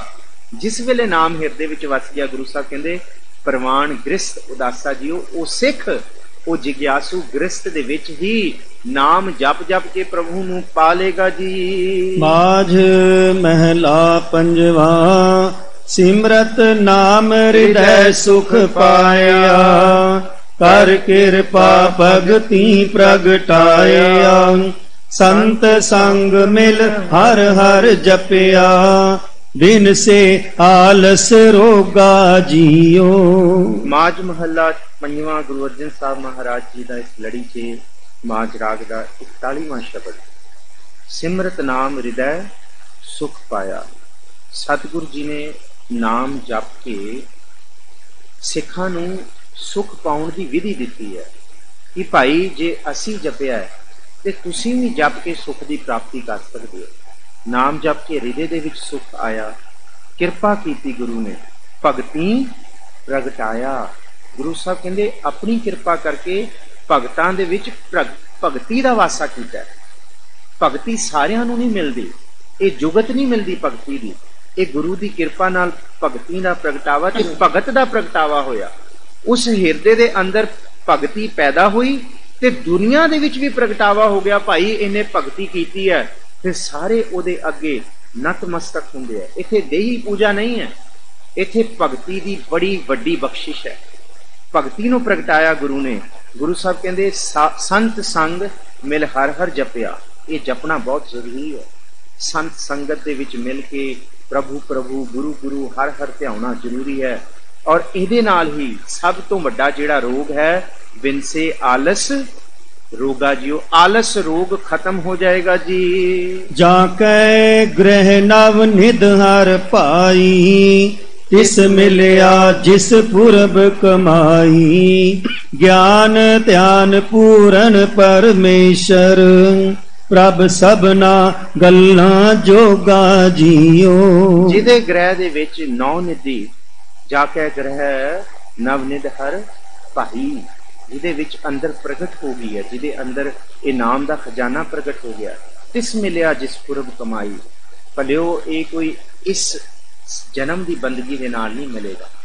ਪੁਰਾਣੀਆਂ ਜਿੰਨੀਆਂ ਵੀ ਬੰਦਗੀਆਂ ਜਨਮਾਂ ਦੀਆਂ ਸਾਡੇ ਪੂਰਵ ਕਰਮ ਨੇ ਚੰਗੇ, ਗੁਰੂ ਸਾਹਿਬ ਕਹਿੰਦੇ ਉਹਨਾਂ ਸਾਰਿਆਂ ਨੂੰ ਮਿਲਾ ਕੇ ਜੇ ਭਾਗ ਹੋਣਗੇ ਤੇ ਇਹ ਇਹੋ ਜਿਹੇ ਕਰਮ ਪ੍ਰਗਟ ਹੋਣਗੇ। ਗਿਆਨ, ਧਿਆਨ, ਪੂਰਨ ਪਰਮੇਸ਼ਵਰ, ਪ੍ਰਭ ਸਭਨਾ ਗੱਲਾਂ ਜੋਗਾ ਜੀਓ, ਉਹਦਾ ਗਿਆਨ, ਉਹਦਾ ਧਿਆਨ, ਉਹ ਪੂਰਨ ਹੈ। ਬੰਦਾ ਕਿਸੇ ਦੇ ਧਿਆਨ ਵੱਲ ਜੁੜੇ, ਕਿਸੇ ਦੇ ਗਿਆਨ ਵੱਲ ਜੁੜੇ, ਦੁਨੀਆ ਦਾ ਗਿਆਨ, ਦੁਨੀਆ ਦਾ ਧਿਆਨ ਹਮੇਸ਼ਾ ਅਧੂਰਾ ਹੈ, ਹਮੇਸ਼ਾ ਊਣਾ ਹੈ। ਇਹ ਮੈਂ ਪਹਿਲਾਂ ਵੀ ਜ਼ਿਕਰ ਕਰ ਚੁੱਕਾ ਜੇ ਕੋਈ ਕਿਸੇ ਵੀ ਲੇਖਕ ਦੀ ਆਪਾਂ ਕਿਤਾਬ ਚੱਕ, ਚੱਕਦੇ ਆ ਤੇ ਉਹਨਾਂ ਕਿਤਾਬਾਂ ਦੀ ਸੀਮਾ ਹੈ, ਉਸ ਕਿਤਾਬ ਦੇ ਗਿਆਨ ਦੀ ਸੀਮਾ ਹੈ। ਪਰ ਸ਼ਬਦ ਦੀ ਸੀਮਾ ਨਹੀਂ। ਸ਼ਬਦ ਦੇ ਗਿਆਨ ਦੀ, ਤੁਰ ਆਏ ਬਾਣੀ ਦੇ ਗਿਆਨ ਦੀ ਸੀਮਾ ਨਹੀਂ ਹੈ। ਉਹ ਪੂਰਨ ਹੈ, ਉਹ ਪੂਰਨ ਗਿਆਨ ਹੈ, ਉਹ ਪੂਰਨ ਧਿਆਨ ਹੈ ਪਰਮੇਸ਼ਵਰ ਦਾ। ਉਹ ਸਾਰਾ ਕੁਝ ਪ੍ਰਭ ਸਭਨਾ ਗੱਲਾਂ, ਸਾਰੀ ਸਮਰੱਥਾ ਪ੍ਰਭ ਪ੍ਰਭ ਜੀ ਕੋਲ ਹੈ ਜੀ। ਖਿਨ ਮਹਿ ਥਾਪਿਓ ਥਾਪਣ ਹਾਰਾ, ਆਪ ਇਕੰਤੀ ਆਪ ਪਸਾਰਾ ਲੇਪ ਨਹੀਂ ਜਗ ਜੀਵਨ ਦਾਤੇ। ਦਰਸ਼ਨ ਡਿਠੇ ਲੈਣ ਵਿਜੋਗਾ ਜੀਓ। ਇੱਕ ਖਿੰਦ ਵਿੱਚ ਉਹ ਸਾਰਾ ਕੁਝ ਥਾਪ ਦਿੰਦਾ ਹੈ, ਫਿਰ ਉਹਨੂੰ ਉਥਾਪ ਦਾ ਭਾਵ ਕਿ ਉਹਨੂੰ ਫਿਰ ਨਸ਼ਟ ਵੀ ਕਰ ਦਿੰਦਾ ਆਪਣੇ 'ਚ ਵੀ ਸਮਾ ਲੈਂਦਾ ਹੈ। ਉਹਦੇ ਕੋਲ ਸਮਰਥ ਹੈ। ਆਪ ਇਕੰਤ ਇਕੰਤੀ, ਆਪ ਇੱਕ ਹੈ, ਫਿਰ ਆਪ ਹੀ ਉਸ ਏਕ ਤੋਂ ਕਈ ਲੱਖਾਂ ਕਰੋੜਾਂ ਦਾ ਪਸਾਰਾ ਵੀ ਹੈ।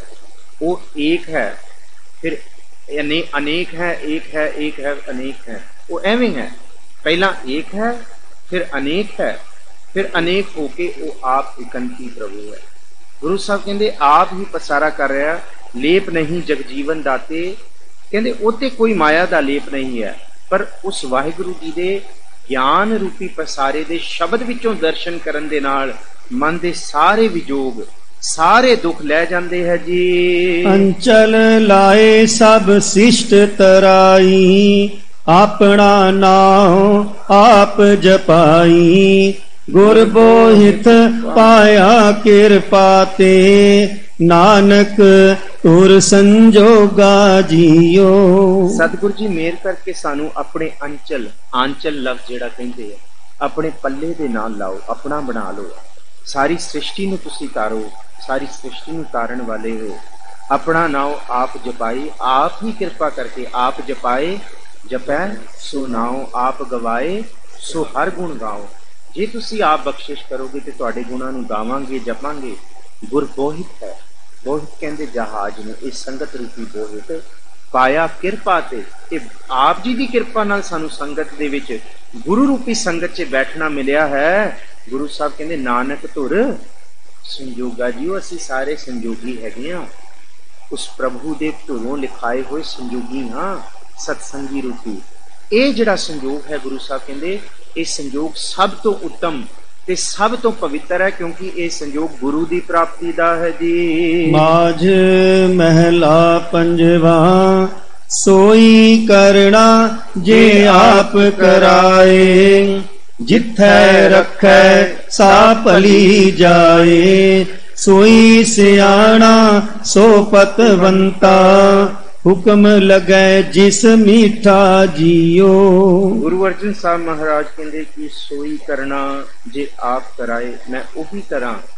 ਵਾਹਿਗੁਰੂ ਜੀ, ਜੋ ਤੁਹਾਡੇ ਹੁਕਮ ਦੇ ਵਿੱਚ ਹੋਏ, ਜਿੱਥੇ ਤੁਸੀਂ ਰੱਖੋਗੇ, ਜਿੱਥੇ ਰੱਖੈ ਸਾ ਭਲੀ ਜਾਏ, ਮੈਂ ਭਲੇ ਰੂਪ ਦੇ ਵਿੱਚ। ਭਲਾ ਆ ਕੇ ਸ਼ੁਕਰ ਆ ਕੇ ਉਸ ਥਾਂ ਦੇ ਵਿੱਚ ਰਾਂ ਮੈਂ ਉਸੇ ਥਾਂ ਤੇ ਭਾਵ ਕਿ ਆਪਣੇ ਆਪ ਨੂੰ ਆਨੰਦ ਦੇ ਵਿੱਚ ਆਪਣੀ ਜ਼ਿੰਦਗੀ ਬਤੀਤ ਕਰਾਂ। ਸੋਈ ਸਿਆਣਾ, ਸੋ ਪਤਵੰਤਾ, ਹੁਕਮ ਲੱਗਾ ਜਿਸ ਮਿੱਠਾ ਜੀ ਇਹ ਬੜਾ ਔਖਾ, ਬਹੁਤ ਵਿਖਮ ਕਨਸੈਪਟ ਹੈ। ਹੁਕਮ ਨੂੰ ਮਿੱਠਾ ਕਰਕੇ ਮੰਨਣਾ, ਇਹ ਵੀ ਜੇ ਗੁਰੂ ਬਖਸ਼ਿਸ਼ ਕਰੇ। ਜਿਹਨੂੰ ਗੁਰੂ ਬਖਸ਼ਿਸ਼ ਕਰ ਦਿੰਦਾ ਹੈ ਗੁਰੂ ਸਾਹਿਬ, ਅਰਜਨ ਸਾਹਿਬ, ਗੁਰੂ ਮਹਾਰਾਜ ਜੀ ਆਪ ਕਹਿੰਦੇ ਹੈਗੇ ਕਿ ਉਹ ਸਿਆਣਾ ਪੁਰਖ ਹੋ ਜਾਂਦਾ ਹੈ, ਉਹ ਪਤਵੰਤਾ ਹੋ ਜਾਂਦਾ ਹੈ। ਪਤਵੰਤੇ ਜ਼ਿਕਰ ਦਾ ਆਪਾਂ ਸੁਖਮਨੀ ਸਾਹਿਬ ਦੇ ਵਿੱਚ ਖੋਲ ਕੇ ਵਿਆਖਿਆ 'ਚ ਪੜਾਂਗੇ ਕਿ ਉਹ ਪਤਵੰਤ ਕਿਵੇਂ ਬਣਦਾ ਹੈ। ਗੁਰੂ ਸਾਹਿਬ ਕਹਿੰਦੇ, ਉਹ ਸਿਆਣਾ ਹੈ, ਉਹ ਪਤਵੰਤਾ ਹੈ, ਜਿਹਨੂੰ ਗੁਰੂ ਦਾ ਹੁਕਮ ਮਿੱਠਾ ਲੱਗਦਾ ਹੈ ਜੀ। ਸਭ ਪਰੋਈ ਇਕਤ ਧਾਗੈ, ਜਿਸ ਲਾਏ ਲਏ ਸੋ ਚਰਣੀ ਲਾਗੈ। ਊਂਦ ਕਵਲ ਜਿਸ ਹੋਏ ਪ੍ਰਗਾਸਾ, ਤਿਨ ਸਰਬ ਨਿਰੰਜਨ ਢੀਠਾ ਜੀਓ। ਵਾਹਿਗੁਰੂ ਜੀ, ਸਾਰੇ ਤੇਰੀ ਕਾਇਨਾਤ ਦੇ ਹੀ ਮੋਤੀ ਹੈਗੇ ਅਸੀਂ ਕੋਈ ਵੱਖ ਨਹੀਂ ਹੈਗੇ ਆ, ਇਹ ਤੇ ਸਾਡੀ ਬਿਰਤੀਆਂ ਨੇ ਕਿ ਅਸੀਂ ਜ਼ਾਤਾਂ ਪਾਤਾਂ, ਅਸੀਂ ਕਿਰਤ ਕਮਾਈਆਂ, ਹੋਰ ਆਪਾਂ ਬਹੁਤ ਕੁਝ ਵਖਰੇਵਾ ਪਾ ਲਿਆ ਆਪਣੇ ਵਿੱਚ ਧਰਮ ਦੇ ਨਾਂ ਤੇ। ਪਰ ਅਸੀਂ ਸਾਰੇ ਹੀ ਮਨ ਕੇ ਹੈਗੀਆਂ ਤੇਰੀ ਮਾਲਾ ਦੇ। ਜਿਸ ਲਾਏ ਲਏ ਸੋ ਚਰਣੀ ਲਾ- ਲੱਗਿਆ ਇਹਦੇ ਵਿੱਚ ਕੋਈ ਧਰਮ, ਕੋਈ ਨਾਮ, ਕੋਈ ਜ਼ਾਤ, ਨਾ ਪਾਤ, ਕੋਈ ਵੀ ਨਹੀਂ ਅੱਗੇ ਵੱਡਾ ਹੁੰਦਾ। ਤੇਰੀ ਬਖਸ਼ਿਸ਼ ਵੱਡੀ ਹੁੰਦੀ ਹੈ। ਇਸ ਕਿਹੜਾ ਮਾਲਾ ਦਾ ਮਣਕਾ ਮੇਰੂ ਬਣ ਜੇ, ਇਹ ਤੇਰੀ ਬਖਸ਼ਿਸ਼ ਦੇ ਨਾਲ ਹੈ। ਤੂੰ ਆਪਣੀ ਬਖਸ਼ਿਸ਼ ਕਰਕੇ ਚਰਣੀ ਲਾਉਂਦਾ ਹੈ। ਊਂਧ ਕਮਲ, ਜਿਸ ਹੋਏ ਪ੍ਰਗਾਸਾ। ਊਂਧ ਕਹਿੰਦੇ ਪੁੱਠਾ। ਮਨ ਪੁੱਠੇ ਪਾਸੇ ਤੁਰਿਆ ਹੋਇਆ ਮਨ ਰੂਪੀ ਜਿਹੜਾ ਕਮਲ ਹੈ, ਉਹ ਵਾਹਿਗੁਰੂ ਜੀ ਦੀ ਬੰਦਗੀ ਨਹੀਂ ਕਰਦਾ। ਉਹ ਸਿੱਧਾ ਹੋ ਜਾਂਦਾ ਹੈ। ਜਦ ਉਹ ਸੰਗਤ 'ਚ ਬੈਠਦਾ ਹੈ, ਭਾਵ ਕਿ ਪੁੱਠੀ ਮਤ ਸਿੱਧੀ ਹੋ ਜਾਂਦੀ ਹੈ। ਕਬੀਰ ਸਾਹਿਬ ਕਹਿੰਦੇ ਆ ਨਾ ਕਿ ਜਿਹੜੀ ਮੇਰੀ ਪਹਿਲੀ ਮਤ ਸੀ, ਉਹ ਬੁਰੀ ਸੀ। ਪਹਿਲੀ ਕਰੂਪ ਕੁਜਾਤ ਕੁਲਖਣੀ ਸੌਰੇ ਪਈਆ ਬੁਰੀ। ਅਬ ਕੀ ਸਰੂਪ ਸੁਜਾਨ ਸੁਲਖਣੀ ਸਹਜੇ ਉਦਰ ਤਰੀ ਪਹਿਲੇ ਜਿਹੜੀ ਮੇਰੀ ਮਤ ਸੀ, ਉਹ ਭੈੜੀ ਸੀ, ਉਹ ਕੁਮਤ ਸੀ। ਹੁਣ ਦੀ ਜਿਹੜੀ ਮੇਰੀ ਮਤ ਹੈ, ਹੁਣ ਭਾਵ ਕਿ ਕਮਲ ਸਿੱਧਾ ਹੋ ਗਿਆ। ਮਤ ਦਾ ਸਿਮਰਨ ਸ਼ੁਰੂ ਹੋ ਗਿਆ। ਮਤ ਦੇ ਵਿੱਚ, ਸੁਰਤ ਦੇ ਵਿੱਚ ਚੇਤਾ ਆ ਗਿਆ। ਗੁਰੂ ਸਾਹਿਬ ਬੜੀ ਬਖਸ਼ਿਸ਼ ਕਰਦੇ ਊਂਡ ਕਮਲ ਜਿਸ ਹੋਈ ਪ੍ਰਗਾਸਾ ਤਿੰਨ ਸਰਬ ਨਿਰੰਜਨ ਬੀਠਾ ਜਿਉ ਉਹਨੂੰ ਸਾਰਿਆਂ ਦੇ ਵਿੱਚ ਨਿਰੰਜਨ ਪ੍ਰਭੂ ਦੇ ਦਰਸ਼ਨ ਹੁੰਦੇ ਆ। ਉਹ ਜਿੰਨੂੰ ਵੀ ਮਿਲਦਾ ਹੈ ਹੁਣ, ਉਹਦਾ ਔਰਾ, ਉਹਦਾ ਪਰਸੋਨਾ, ਉਹਦੀ એનર્ਜੀ ਇਨੀ ਪੋਜ਼ਿਟਿਵ ਹੋ ਗਈ ਹੈ ਕਿ ਕਿਸੇ ਨੂੰ ਮਿਲ ਕੇ ਕਲਾ ਕਲੇਸ਼ ਨਹੀਂ ਹੈ। ਸਭ ਦੇ ਵਿੱਚ ਉਹ ਪ੍ਰਭੂ ਦੀ ਜੋਤ ਨੂੰ ਵੇਖਦਾ ਹੈ ਜੀ। ਤੇਰੀ ਮਹਿਮਾ ਤੂੰ ਹੈ ਜਾਣ ਹੈ। ਆਪਣਾ ਆਪ ਤੂੰ ਆਪ ਪਛਾਣ ਹੈ। ਹਉ ਬਲਹਾਰੀ ਸੰਤਨ ਤੇਰੇ ਜਿਨ ਕਾਮ ਕ੍ਰੋਧ ਲੋਭ ਪੀਠਾ ਜੀਓ। ਪਾਤਸ਼ਾਹ ਜੀ ਕੌਣ ਤੁਹਾਡੀ ਮਹਿਮਾ ਕਰ ਸਕਦਾ ਹੈ? ਤੁਹਾਡੀ ਮਹਿਮਾ ਤੂੰ ਆਪ ਹੀ ਜਾਣਦਾ ਹੈ। ਤੇਰੀ ਮਹਿਮਾ ਤੂੰ ਹੈ ਜਾਣ ਹੈ। ਆਪਣਾ ਆਪ ਤੂੰ ਆਪ ਪਛਾਣ ਹੈ ਬੰਦਾ ਕੋਈ ਪਛਾਣ ਨਹੀਂ ਕਰ ਸਕਦਾ। ਤੁਹਾਡੇ ਗੁਣਾ ਦੀ, ਤੁਹਾਡੀ ਵਡਿਆਈ ਦੀ। ਕਿੰਨਾ ਕੁ ਆਪ ਕੇ ਵਖਾਣ ਕਰੀਏ, ਤੇਰੇ ਕਵਨ ਕਵਨ ਗੁਣ ਕਹਿ ਕਹਿ ਗਾਵਾਂ ਤੂੰ ਸਾਹਿਬ। ਗੁਣੀ ਨਿਦਾਨਾ ਤੁਮਰੀ ਮਹਿਮਾ, ਬਰਨ ਨਾ ਸਾਕੇ ਕੋਈ ਬਰਨ ਕਰ ਹੀ ਨਹੀਂ ਸਕਦਾ ਪਾਤਸ਼ਾਹ, ਤੁਸੀਂ ਆਪ ਹੀ ਜਾਣਦੇ ਹੋ ਆਪਣੀ ਵਡਿਆਈ। ਬਸ ਹਉ ਬਲਹਾਰੀ ਸੰਤਨ ਤੇਰੇ। ਬਸ ਮੈਂ ਤੇਰੇ ਉਹਨਾਂ ਭਗਤਾਂ ਤੋਂ ਬਲਹਾਰ ਜਾਉਣਾ ਜਿਨ੍ਹਾਂ ਨੇ ਤੈਨੂੰ ਧਿਆ ਲਿਆ ਹੈ, ਜਿਨ ਕਾਮ ਕ੍ਰੋਧ ਲੋਭ, ਪੀਠਾ ਜੀਓ ਮੇਰੀ ਮਤ ਦੇ ਨਾਲ ਮੈਂ ਆਪਣੇ ਕਾਮ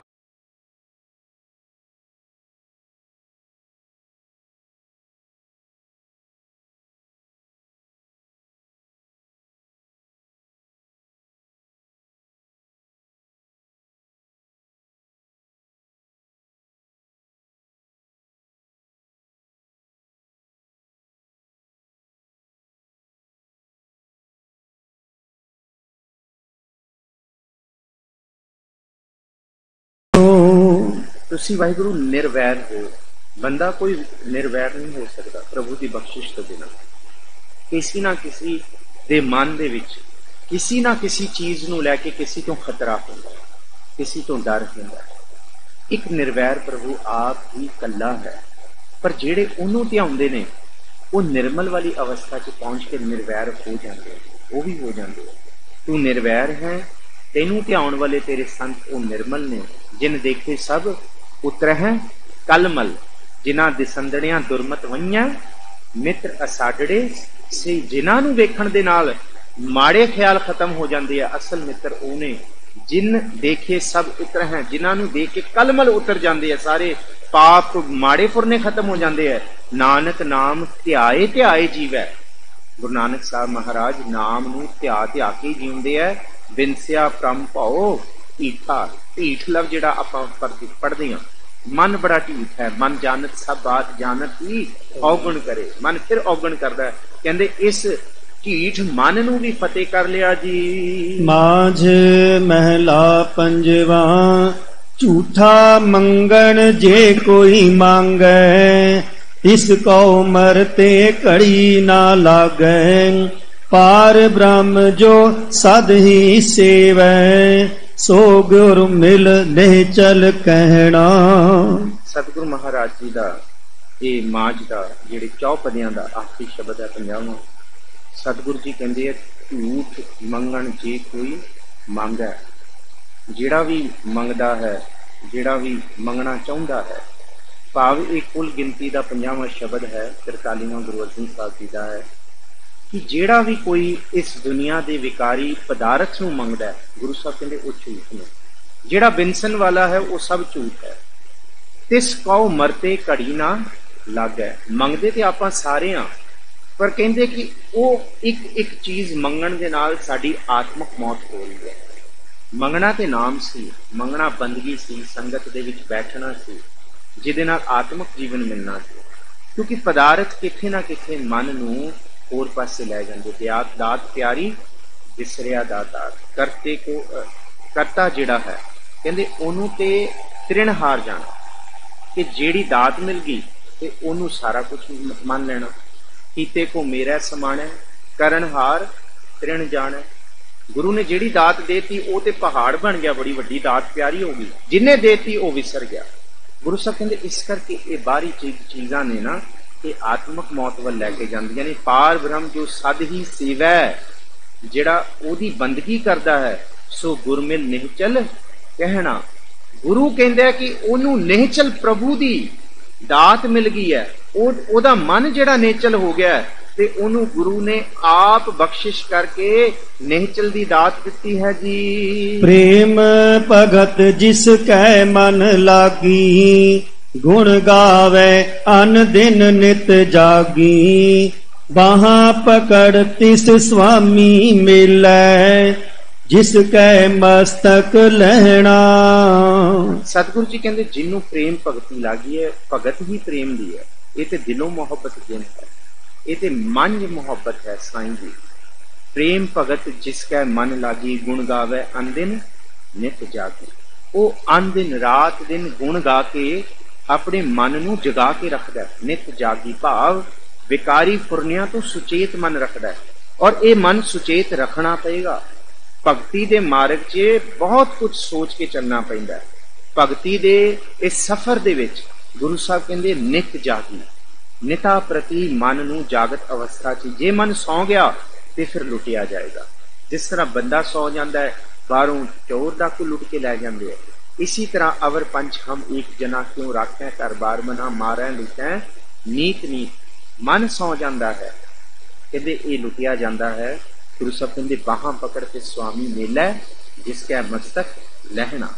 ਗੁਰੂ ਸਾਹਿਬ ਆਪ ਬਾਹ ਪੜ ਕੇ ਉਹਨੂੰ ਆਪਣੇ ਦਰ ਤੇ ਲੈ ਕੇ ਜਾਂਦਾ, ਆਪਣੇ ਵਿੱਚ ਮਿਲਾਉਂਦਾ ਪਰ ਇਹ ਉਹਨੂੰ ਮਿਲਦਾ ਜਿਹਦੇ ਮਸਤਕ ਦੇ ਭਾਗ ਹੁੰਦੇ ਨੇ ਜੀ। ਚਰਨ ਕਮਲ ਭਗਤਾ ਮਨ ਉਠੇ ਵਿਣ ਪਰਮੇਸ਼ਰ ਸਗਲੇ ਮੁਠੇ ਸੰਤ ਜਨਾ ਕੀ ਤੂੜ ਨਿਤ ਬਾਛੈ ਨਾਮ ਸੱਚੇ ਕਾ ਗਹਿਣਾ ਸਤਿਗੁਰੂ ਜੀ ਕਹਿੰਦੇ ਜਿਹੜੇ ਆਪ ਜੀ ਦੇ ਭਗਤ ਨੇ ਚਰਨ ਕਮਲ ਭਗਤਾਂ ਮਨ ਵੁੱਠੇ ਵੁੱਠੇ ਕਹਿੰਦੇ ਵਸ ਜਾਣਾ ਭਗਤਾਂ ਦੇ ਹਿਰਦੇ 'ਚ ਪ੍ਰਭੂ ਦੇ ਨਾਮ ਤੇ ਚਰਨ ਕਮਲ ਵਸਦੇ ਵਿਣ ਪਰਮੇਸ਼ਵਰ ਸਗਲੇ ਮੁੱਠੇ ਕਹਿੰਦੇ ਠਗੇ ਗਏ ਇਸ ਸਾਰੇ ਦਿਖਦੇ ਪਸਾਰੇ 'ਚ ਇਹ ਵਿਕਾਰੀ ਬਿਰਤੀਆਂ ਤੋਂ ਸਾਰਾ ਮਨ ਠਗਿਆ ਗਿਆ, ਸੁੱਤਾ ਰਿਆ ਨਾ ਮਨ।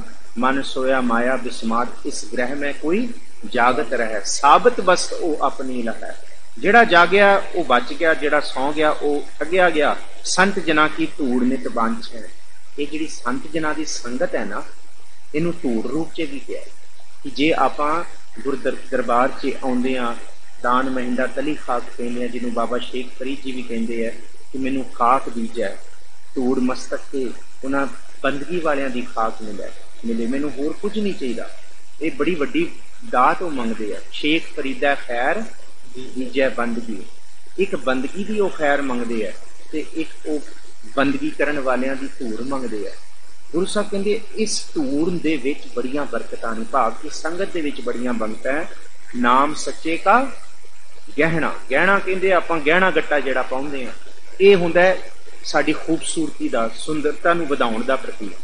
ਹੁਣ ਨਾਮ ਹੀ ਸਿੱਖ ਦੀ ਕਾਰ ਵਿਹਾਰ ਦੀ ਖੂਬਸੂਰਤੀ ਹੈ, ਦਿਖ ਦੀ ਖੂਬਸੂਰਤੀ ਹੈ। ਗਹਿਣੇ ਤੋਂ ਭਾਵ ਹੈ ਕਿ ਨਾਮ ਦਾ ਹੀ ਸ਼ਿੰਗਾਰ ਕੀਤਾ ਹੈ ਜੀ ਸਿੱਖ ਨੇ।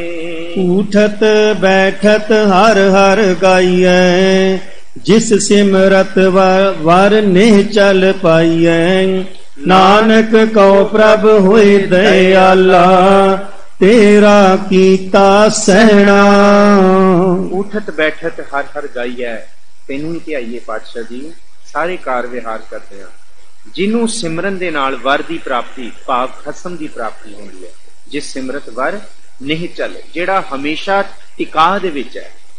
ਬੰਦੇ ਦਾ ਮਨ ਕਦੀ ਵੀ ਨਹੀਂ ਚੱਲ ਨਹੀਂ ਹੁੰਦਾ। ਨਹੀਂ ਚੱਲ ਤੋਂ ਭਾਵ ਕਿ ਇੱਕ ਅਵਸਥਾ ਦੇ ਵਿੱਚ ਟਿਕਿਆ ਰਹੇ। ਸਾਡਾ ਜਿਹੜਾ ਮਨ ਹੈ ਨਾ, ਉਹ ਚੱਲ ਅਵਸਥਾ ਦੇ ਵਿੱਚ ਹੈ। ਹੁਣੇ ਕੁਝ ਹੋਰ ਹੈ। Within a moments within a subtle moments ਸਾਡੇ ਮਨ ਦੇ ਥਾਟਸ ਚੇਂਜ ਹੋ ਜਾਣਗੇ। ਇਹ ਚੱਲ ਮਨ ਹੈ। ਅੱਜ ਇੱਥੇ ਸਾਨੂੰ ਠੀਕ ਹੈ ਕੱਲ ਸਾਨੂੰ ਕੁਝ, ਅਸੀਂ ਬੜੀ ਛੇਤੀ ਵੀ ਫੀਲ ਮਨਾਟਨਸ ਆਪਾਂ ਬਹੁਤ ਛੇਤੀ ਬੋਰਿੰਗ ਫੀਲ ਕਰਦੇ ਹਾਂ। ਇਹਨੂੰ ਇਸ ਇਸ ਕਰਕੇ ਇਹਨੂੰ ਚੱਲ ਮਨ ਕਿਹਾ। ਨੇਚਲ ਪ੍ਰਭੂ ਹੈ ਜਿਹੜਾ ਹਰ ਅਵਸਥਾ ਦੇ ਵਿੱਚ ਇੱਕੋ ਹੀ ਬਖਸ਼ਿਸ਼ ਕਰ ਰਿਹਾ ਹੈ ਇੱਕੋ ਹੀ ਦਾਤ ਦੇ ਰਿਹਾ ਹੈ। ਨਾਨਕ ਕਉ ਪ੍ਰਭ ਹੋਏ ਦਇਆਲਾ, ਤੇਰਾ ਕੀਤਾ ਸਹਿਣਾ, ਤੇਰੇ ਭਾਣੇ ਦੇ ਵਿੱਚ ਰਹਿਣਾ, ਤੇਰਾ ਕੀਤਾ ਹੋਇਆ ਸਹਿ ਲੈਣਾ, ਤੇਰੀ ਜੋ ਵੀ ਚੋਜ ਹੈ, ਤੇਰੇ ਜਿੰਨੇ ਵੀ ਇਹ ਬਰਕਤ ਰੂਪੀ ਕੰਮ ਵਿਹਾਰ ਸਾਡੀ ਜ਼ਿੰਦਗੀ 'ਚ ਵਾਪਰ ਰਹੇ ਨੇ, ਉਹਨੂੰ ਜਿਹੜੀ ਸਹਿਣ ਦੀ ਦਾਤ ਹੈ, ਗੁਰੂ ਨਾਨਕ ਸਾਹਿਬ ਕਹਿੰਦੇ, ਉਹ ਸਾਨੂੰ ਬਖਸ਼ੋ ਜੀ। ਰਾਗ ਮਾਝ ਅਸ਼ਟਪਦੀਆਂ, ਮਹਿਲਾ ਪਹਿਲਾ, ਘਰ ਪਹਿਲਾ ਇੱਕ ਓੰਕਾਰ, ਸਤਿਗੁਰ ਪ੍ਰਸਾਦ, ਸ਼ਬਦ ਰੰਗਾਏ ਹੁਕਮ ਸਬਾਏ, ਸੱਚੀ ਦਰਗਹਿ ਮਹਿਲ ਬੁਲਾਏ, ਸੱਚੇ ਦੀਨ ਦਇਆਲ ਮੇਰੇ ਸਾਹਿਬਾ, ਸੱਚੇ ਮਨ ਪਤੀ ਆਵਣਿਆ ਹੁਣ ਅਸ਼ਪਦੀਆਂ ਦੀ ਬਾਣੀ ਮਾਝ ਰਾਗ ਦੇ ਵਿੱਚ, ਮਾਝ ਦਾ ਜਿਹੜਾ ਰਾਗ ਹੈ ਮਾਝ ਰਾਗ ਇਹ ਦਿਨ ਦੇ ਚੌਥੇ ਪੈਰ ਦਾ ਰਾਗ ਹੈ।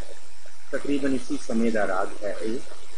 ਔਰ ਇਹ ਦੋ ਰਾਗਾਂ ਦੇ ਮਿਸ਼ਰਣ ਦੇ ਵਿੱਚੋਂ ਵੀ ਹੈ। ਇਹਦੇ ਵਿੱਚ ਸ੍ਰੀ ਰਾਗ ਤੇ ਮਲਾਰ ਦੀਆਂ ਸੁਰਾਂ ਦਾ ਵੀ ਜ਼ਿਕਰ ਕੀਤਾ ਹੋਇਆ ਔਰ ਜਿਹੜੀ ਗਾਵਨ ਸ਼ੈਲੀ ਵਾਲੇ ਇਹ ਰਾਗ ਦੇ ਵਿੱਚ ਹੈ, ਇਸ ਰਾਗ ਦੀ ਜਾਤੀ ਸੰਪੂਰਨ ਹੈ। ਭਾਵ ਸੰਪੂਰਨ ਰਾਗ ਦੇ ਵਿੱਚ ਗਾਉਣਾ ਕਿਸੇ ਚੀਜ਼ ਨੂੰ ਅਸ਼ਪਦੀਆਂ ਦੇ ਜਿਹੜੇ ਸ਼ਬਦ ਗੁਰੂ ਸਾਹਿਬ ਨੇ ਮਾਝ ਰਾਗ ਦੇ ਵਿੱਚ ਗਾਉਣ ਦੀ ਜਿਹੜੀ ਹਦਾਇਤ ਕੀਤੀ ਹੈ, ਇਹਨਾਂ ਸ਼ਬਦਾਂ ਨੂੰ ਸੰਪੂਰਨ ਮਾਝ ਰਾਗ ਦੇ ਵਿੱਚ ਗਾਉਣ ਦੀ ਜਿਹੜੀ ਹਦਾਇਤ ਹੈ, ਉਹਦਾ ਮਨ ਦੇ ਉੱਤੇ ਬੜਾ ਅਸਰ ਪੈਂਦਾ, ਖਾਸ ਕਰਕੇ ਇਸ ਸਮੇਂ ਦੇ ਵਿੱਚ, ਜਿਹੜਾ ਸਮੇਂ ਦਾ ਰਾਗ ਗਾਇਆ ਜਾਏ ਖੈਰ, ਮਹਿਲਾ ਪਹਿਲਾਂ ਦੀ ਬਾਣੀ, ਘਰ ਪਹਿਲਾਂ ਦੇ ਵਿੱਚ ਗਾਵਣ ਤੇ ਤਾਲ ਦੀ ਹਦਾਇਤ ਹੈ, ਸ਼ਬਦ ਰੰਗਾਏ, ਜਿਹੜੇ ਸ਼ਬਦ ਦੇ ਵਿੱਚ ਰੰਗੀਚੇ ਗਏ, ਹੁਕਮ ਸਬਾਏ, ਉਹ ਪ੍ਰਭੂ ਦੇ ਸਾਰੇ ਹੁਕਮਾਂ ਨੂੰ ਮੰਨ ਲੈਂਦੇ ਆ, ਸਾਰੇ ਹੁਕਮਾਂ ਨੂੰ।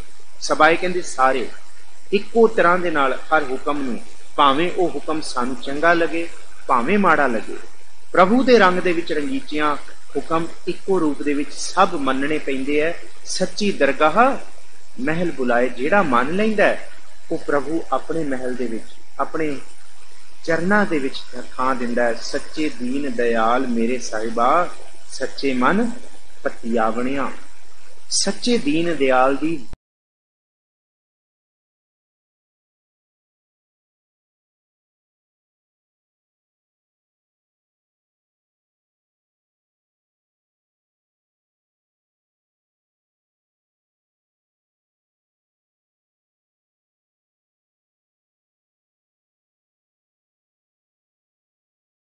ਸਦਾ ਸੁਖ ਦਾਤਾ ਗੁਰਮਤੀ ਮਨ ਵਸਾਵਣਿਆ ਰਹਾਉ। ਰਹਾਉ ਦੀ ਤੁਕਾਂ 'ਚ ਵਾਹਿਗੁਰੂ ਜੀ ਇਹ ਬਖਸ਼ਿਸ਼ ਕਰਦੇ ਆ ਗੁਰੂ ਨਾਨਕ ਸਾਹਿਬ ਮਹਾਰਾਜ ਕਹਿੰਦੇ ਕਿ ਮੈਂ ਬਲਹਾਰ ਜਾਂਦਾ ਹਾਂ ਵਾਰੀ ਜਿਉ ਵਾਰੀ ਸ਼ਬਦ ਸੁਹਾਵਣਿਆ ਜਿਹੜਾ ਬਹੁਤ ਸੋਹਣਾ ਹੈ ਜਿਹੜੇ ਮੇਰੇ ਅੰਦਰ ਬਸੰਤ ਲੈ ਕੇ ਆਉਂਦਾ। ਬਸੰਤ ਤੋਂ ਭਾਵ ਖੇੜਾ ਖੁਸ਼ੀ ਲੈ ਕੇ ਆਉਂਦਾ ਉਹ ਸੁਹਾਵਣਾ ਸ਼ਬਦ ਅੰਮ੍ਰਿਤ ਨਾਮ ਸਦਾ ਸੁਖ ਦਾਤਾ ਨਾਮ ਹਮੇਸ਼ਾ ਸੁੱਖਾਂ ਨੂੰ ਦੇਣ ਵਾਲਾ ਹੈ।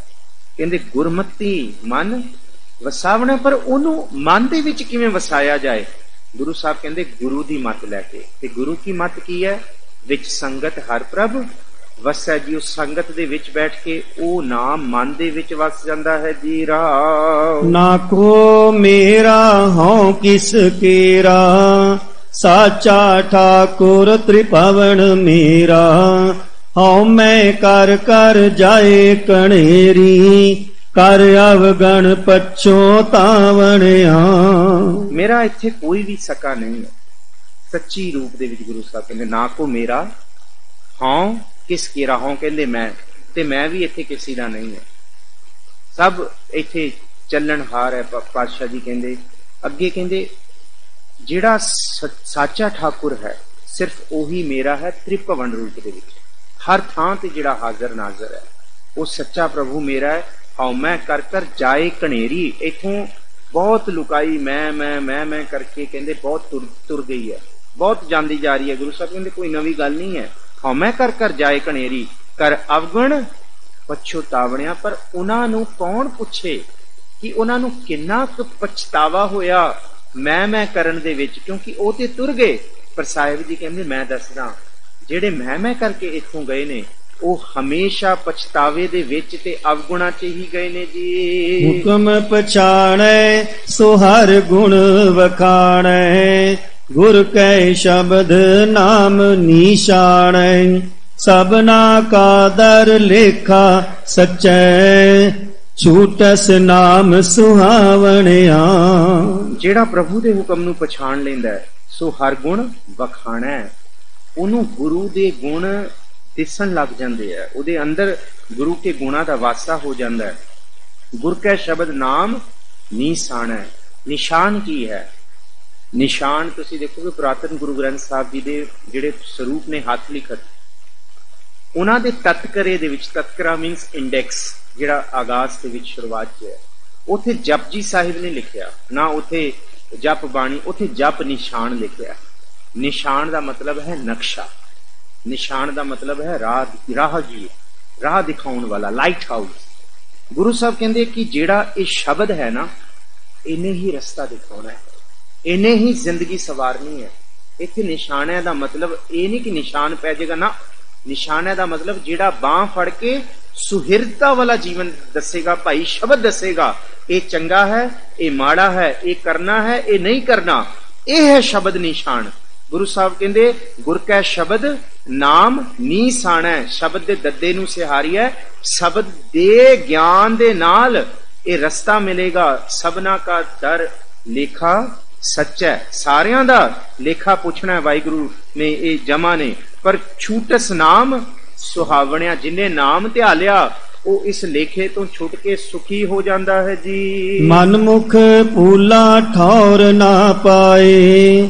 ਜਮਦਰ ਬੱਦਾ ਚੋਟਾਂ ਖਾਏ, ਬਿਨ ਨਾਵੇਂ ਕੋ ਸੰਗ ਨਾ ਸਾਥੀ ਮੁਕਤੇ ਨਾਮ ਤੇ ਆਵਣਿਆ। ਮਨਮੁਖ ਭੂਲਾ ਠੌਰ ਨਾ ਪਾਏ, ਜਿਹੜੇ ਆਪਣੇ ਮਨ ਦੇ ਪਿੱਛੇ ਤੁਰੇ ਨੇ, ਉਹਨਾਂ ਨੂੰ ਉਸ ਪ੍ਰਭੂ ਦਾ ਠਿਕਾਣਾ ਨਹੀਂ ਮਿਲਿਆ। ਸੱਚ ਨਹੀਂ ਮਿਲਿਆ, ਹਿਰਦਾ ਟਿਕਿਆ ਨਹੀਂ। ਜਮਦਰ ਬੱਦਾ ਚੋਟਾਂ ਖਾਏ, ਉਹਨਾਂ ਨੂੰ ਜਮਾਂ ਦੀਆਂ ਸੱਟਾਂ ਪੈਂਦੀਆਂ ਨੇ। ਬਿਨ ਨਾਵੈ ਕੋ ਸੰਗ ਨਾ ਸਾਥੀ, ਸੱਚੀ ਸਾਹਿਬ ਕਹਿੰਦੇ ਕੋ ਸਾਥ ਦੇਣ ਵਾਲਾ ਨਹੀਂ ਹੈ। ਕੋਈ ਵੀ ਸਾਥੀ ਨਹੀਂ ਹੈ। ਇੱਕ ਨਾਮ ਬਹੁਤ ਵੱਡੀ ਬਖਸ਼ਿਸ਼ ਹੈ, ਜਿਹਦੇ ਹਿਰਦੇ 'ਚ ਨਾਮ ਦੀ ਕਮਾਈ ਹੈ। ਉਹਦੇ ਕੋਲ ਤੋਸਾ ਹੈ, ਉਹਦੇ ਕੋਲ ਸਾਥ ਹੈ ਪ੍ਰਭੂ ਦਾ। ਮੁਕਤੇ ਨਾਮ ਧਿਆਵਣਿਆ। ਗੁਰੂ ਸਾਹਿਬ ਕਹਿੰਦੇ, ਇਹੀ ਨਾਮ ਇਸ ਮਾਇਆ ਦੀ ਪਕੜ ਤੋਂ ਬੰਦ ਖਲਾਸੀ ਮੁਕਤ ਕਰਾਉਣ ਵਾਲਾ ਹੈ ਜੀ। ਸਾਕਤ ਕੂੜੇ ਸੱਚ ਨਾ ਪਾਵੇ ਦੁਬਦਾ ਬਾਧਾ ਆਵੇ ਜਾਵੇ ਲਿਖਿਆ ਲੇਖ ਨਾ ਮੇਟੈ ਕੋਈ ਗੁਰਮੁਖ ਮੁਕਤ ਕਰਾਵਣਿਆ। ਸਾਕਤ ਕੂੜੇ ਸੱਚ ਨਾ ਭਾਵੈ ਇਹ ਸਾਡੇ ਸਾਰਿਆਂ ਦੀ ਬਿਰਤੀ ਹੈ। ਸਾਨੂੰ ਨਹੀਂ ਸੱਚ ਚੰਗਾ ਲੱਗਦਾ। ਸੱਚ ਚੁੱਕਦਾ ਹੈ, ਗੁਰੂ ਦਾ ਹੁਕਮ ਔਖਾ ਲੱਗਦਾ ਹੈ। ਦੁਬਦਾ ਬੰਦਾ ਆਵੇ ਜਾਵੇ, ਅਸੀਂ ਮਾਇਆ ਦੀ ਦੁਚਿੱਤੀ ਵਿਰਤੀ ਦੇ ਵਿੱਚ ਆਉਂਦੇ ਜਾਉਂਦੇ ਜਨਮ ਦੇ ਮਰਨ ਦੇ ਦੁੱਖ ਭੋਗ ਰਹੇ ਹਾਂ। ਲਿਖਿਆ ਲੇਖ ਨਾ ਮਿਟੈ ਕੋਈ, ਲੇਖ ਵੀ ਉਸ ਪ੍ਰਭੂ ਨੇ ਲਿਖਿਆ ਕਿ ਭਾਈ ਤੁਸੀਂ ਹੁਣ ਇੱਥੇ ਇਸ ਜਗਤ ਦੇ ਵਿੱਚ ਇਹ ਇਹ ਕਾਰ ਕਮਾਉਣਾ ਹੈ, ਇਹ ਕਮਾਉਣਾ ਪੈਂਦਾ ਹੈ। ਪਰ ਕਹਿੰਦੇ, ਇਹ ਜਿਹੜਾ ਲੇਖ ਹੈ, ਇਸ ਤੋਂ ਵੱਡਾ ਵੀ ਕੁਝ ਹੈ, ਇਸ ਲੇਖੇ ਤੋਂ ਵੱਡਾ ਕੀ ਹੈ? ਉਹ ਹੈ ਗੁਰਮੁਖ ਮੁਕਤ ਕਰਾਵਣਿਆ, ਗੁਰੂ ਗੁਰੂ ਮੁਖ ਦੇ ਖੱਖੇ ਨੂੰ ਸਿਹਾਰੀ ਹੈ। ਇਹਦਾ ਮਤਲਬ ਹੈ ਗੁਰੂ ਦੇ ਸਨਮੁਖ ਬੈਠਣ ਵਾਲਾ, ਗੁਰੂ ਨੂੰ ਧਿਆਉਣ ਵਾਲਾ। ਕਹਿੰਦੇ ਉਹਨੂੰ ਗੁਰੂ ਸਾਹਿਬ ਇਸ ਲੇਖੇ ਤੋਂ ਵੀ ਮੁਕਤ ਕਰਾ ਦਿੰਦੇ ਹੈ ਜੀ। ਪੀੜੈ ਫਿਰ ਜਾਤੋ ਨਾਹੀ, ਝੂਠ ਵਿਛੁੰਨੀ ਰੋਵੇ ਤਾਹੀ। ਅਵਗਣ ਮੁਠੀ ਮਹਿਲ ਨਾ ਪਾਏ ਅਵਗਣ ਗੁਣ ਬਖਸ਼ਾਵਣਿਆ ਕਮਾਲ ਦੀ ਦੇਖੋ, ਇਹ ਇਹ ਪਦਿਆਂ ਦੀ ਬਣਤਰ ਦੇਖੋ।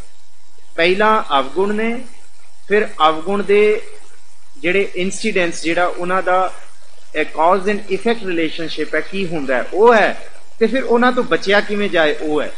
ਇਹ ਤੁਕ ਆਪਣੇ ਆਪ ਦੇ ਵਿੱਚ ਸੰਪੂਰਨ ਹੈ।